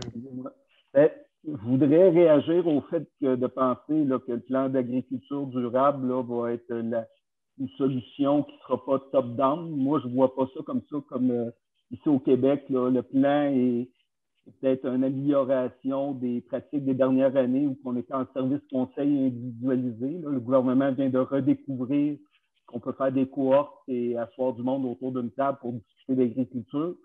Il y a une différence entre euh, faire un groupe pour dire on, va vous inciter à appliquer des bonnes recettes dans vos champs et euh, d'emmener à faire de l'intelligence collective, d'emmener des gens à travailler ensemble, avoir l'animation euh, qui est différente que on va être le professeur, on va être les agronomes, on va être les chercheurs qui vont vous donner des idées sur comment faire, puis être capable de, faire ce que M. Thomas disait, d'aller chercher l'intelligence des agriculteurs, aller voir leur sens de l'observation, aller voir les pratiques qui vont se mettre en place, pour être capable d'apprendre ensemble à innover et aller plus loin en agriculture. je pense qu'il y, a plusieurs types d'agriculteurs. Il y a des agriculteurs qui cherchent des recettes, il y a des agriculteurs qui ont voulu d'être accompagnés dans leur innovation. Puis présentement, sur l'agriculture durable, moi, la lecture que j'en ai, euh, les agriculteurs ne sont pas là à toutes les étapes pour être capables d'être présents, à, avoir, à, avoir l'assurance d'avoir un champ d'animation de ces courses-là. Moi, ce n'est pas ce que je vois présentement.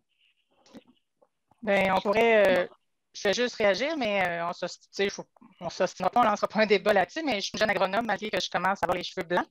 Mais tantôt, on a présenté une cohorte de sol couvert en, en hiver là, qui a lieu en région ici. Puis c'est vraiment une dynamique où est-ce que les producteurs, on échange, il y a des conseillers qui donnent des formations et les producteurs mettent en place des projets, échangent sur leurs bons coups. Fait que c'est de la création et de l'apprentissage collectif qu'on vise, nous, dans cette cohorte-là. Fait que, on verra dans les autres cohortes comment ça va s'orchestrer dans le futur. Mais euh, on verra, puis j'espère en tout cas que ça va s'orchestrer comme je le pense et comme vous le pensez. Je pense qu'on est un peu sur la même longueur d'onde, mais le, futur nous le dira. Je souhaite qu'il y ait de la place euh, à l'innovation et tout ça, mais si les critères d'évaluation sont juste des critères agronomiques, et on ne regarde pas la façon qu'on fait de l'agriculture ensemble, les moyens qu'on se donne pour, euh, animer les agriculteurs et qu'on fait juste évaluer des, des, du phosphore ou des, des, hectares de culture de couverture, on va peut-être passer à côté d'une nouvelle façon de travailler ensemble. Puis euh, là, ça, ça ne m'apparaît pas clair que euh, le, ministère était prêt de bien évaluer les, moyens qu'il donne aux agronomes euh, pour, pour changer leur façon d'animer les groupes, puis qu'il donne aux agriculteurs pour travailler ensemble de façon différente. Donc, il y a encore beaucoup de travail à faire par rapport à ça. Même si on retourne au groupe, là, puis je, le salue, ça faisait longtemps qu'on on n'invente rien. Les plus de conseils l'ont fait il y a 20 ans, il y a 30 ans. Euh, c'est juste qu'on avait arrêté de les financer pour faire ça. Monsieur Thomas voulait intervenir aussi. j'aime bien, j'aime bien votre débat. Excusez-moi. Euh, c'est plus facile pour moi de m'initier un peu dans votre débat euh, parce que moi, je suis, je suis l'étranger ici. en fait, je comprends bien les, les propos de Jean-François. Il faut être très attentif à ça. j'aime en fait, euh, aujourd'hui, au niveau européen, j'intervenais à Eurosoil.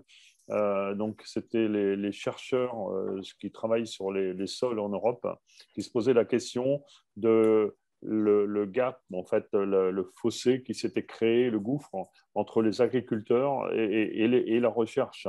Et en fait, oui, on a, on a réellement gap important qui s'est créé entre ces deux. Il va falloir qu'on fasse attention. À, il y a un peu de psychologie pour ne pas frustrer les uns les autres et que ça marche bien. ensuite, j'aimerais vous citer un fabuleux exemple qui nous a, apporté, qui nous a, qui nous a montré la puissance du groupe et la puissance des réseaux. Voilà quelques années, euh, on cherchait à, à, mettre des mélanges de couverts adaptés en Bretagne. Et donc, on avait démarré le tournesol. Et puis, j'avais commencé à mettre du colza dedans parce que la semence de colza coûte pas cher et ça permettait de faire des couverts pas chers qui poussent bien et qui captaient bien l'azote. Alors, il y a eu quelques difficultés parce qu'en fait, ce n'étaient pas des plantes qui étaient suspectées d'être des cipants. Et ce n'était pas dans la liste, vous vous rendez compte, des, des cipants. Donc, euh, à la limite, euh, un agriculteur qui mettait ces plantes-là et qui était très efficace pour garder l'azote, il ne euh, respectait pas la réglementation parce que ces plantes-là n'étaient pas dans le, la liste des, des, couverts intermédiaires piège à nitrate. Première difficulté, bon, progressivement, ça l'a fait, mais on s'est aperçu, euh, après plusieurs années, que les colzas traversaient bien l'automne sous des couverts végétaux et repoussaient de manière formidable au printemps.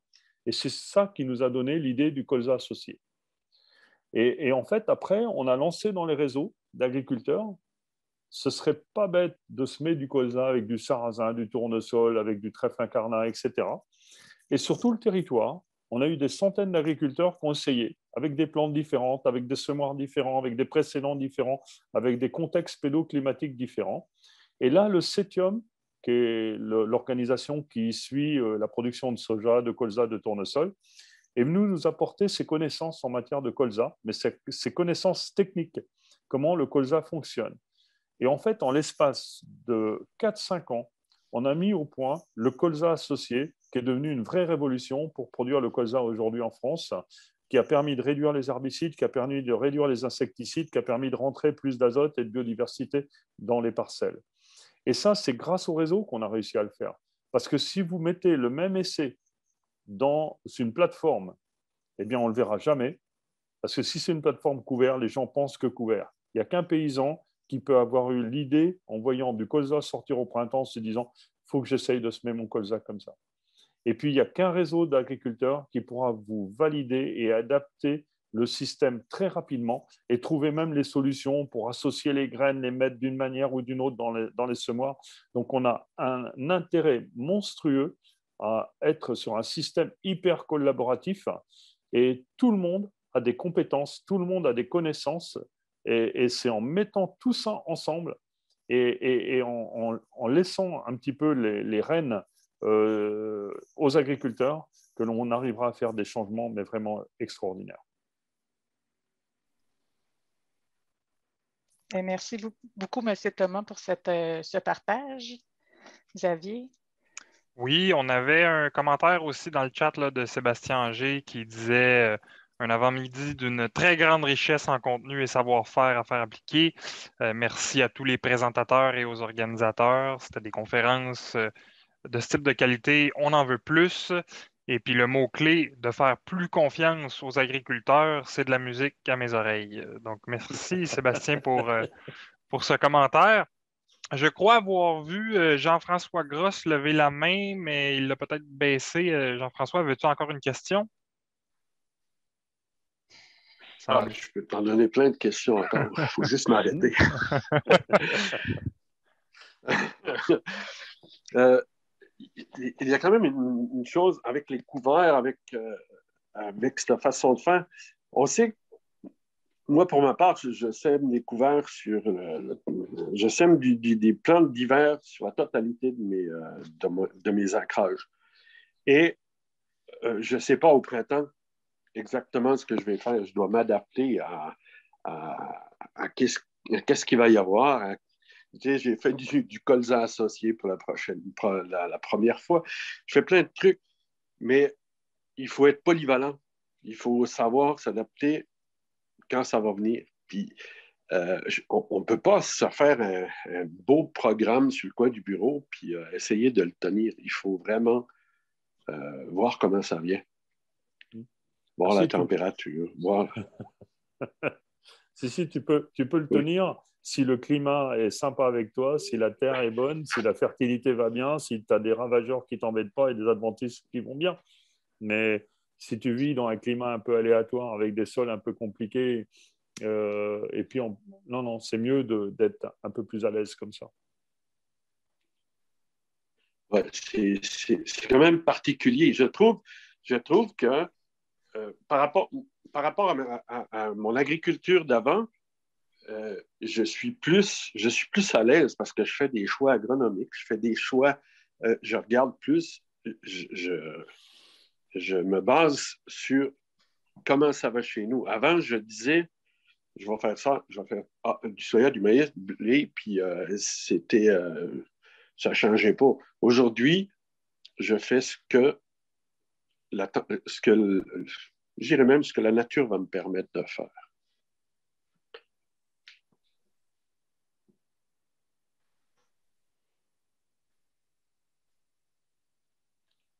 Excellent. Donc, euh, je ne sais pas, monsieur, monsieur Thomas, aviez-vous une réponse euh, à offrir? Oui, disons que nous, on a développé ça, je vous l'ai, dit dans ma présentation, quoi, les, approches euh, opportunistes.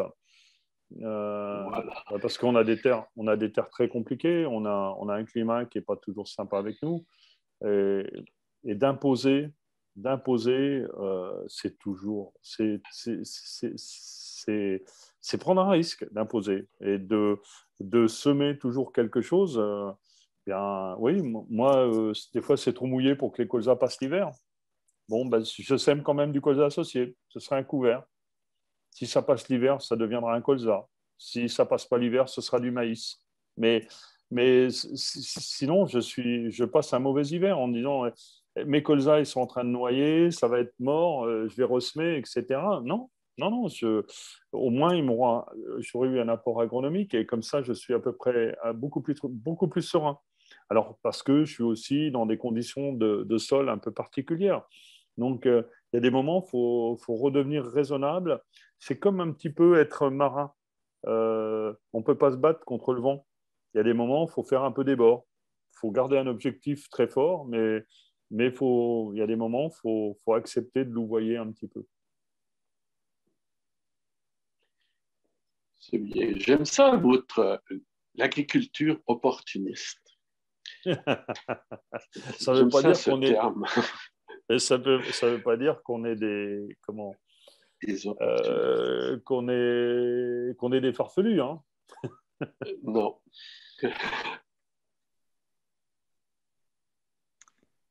En terminant, peut-être, euh, j'aimerais vous parler un peu du sondage qu'on a euh, diffusé tout au long des présentations. Je vais essayer de vous le diffuser.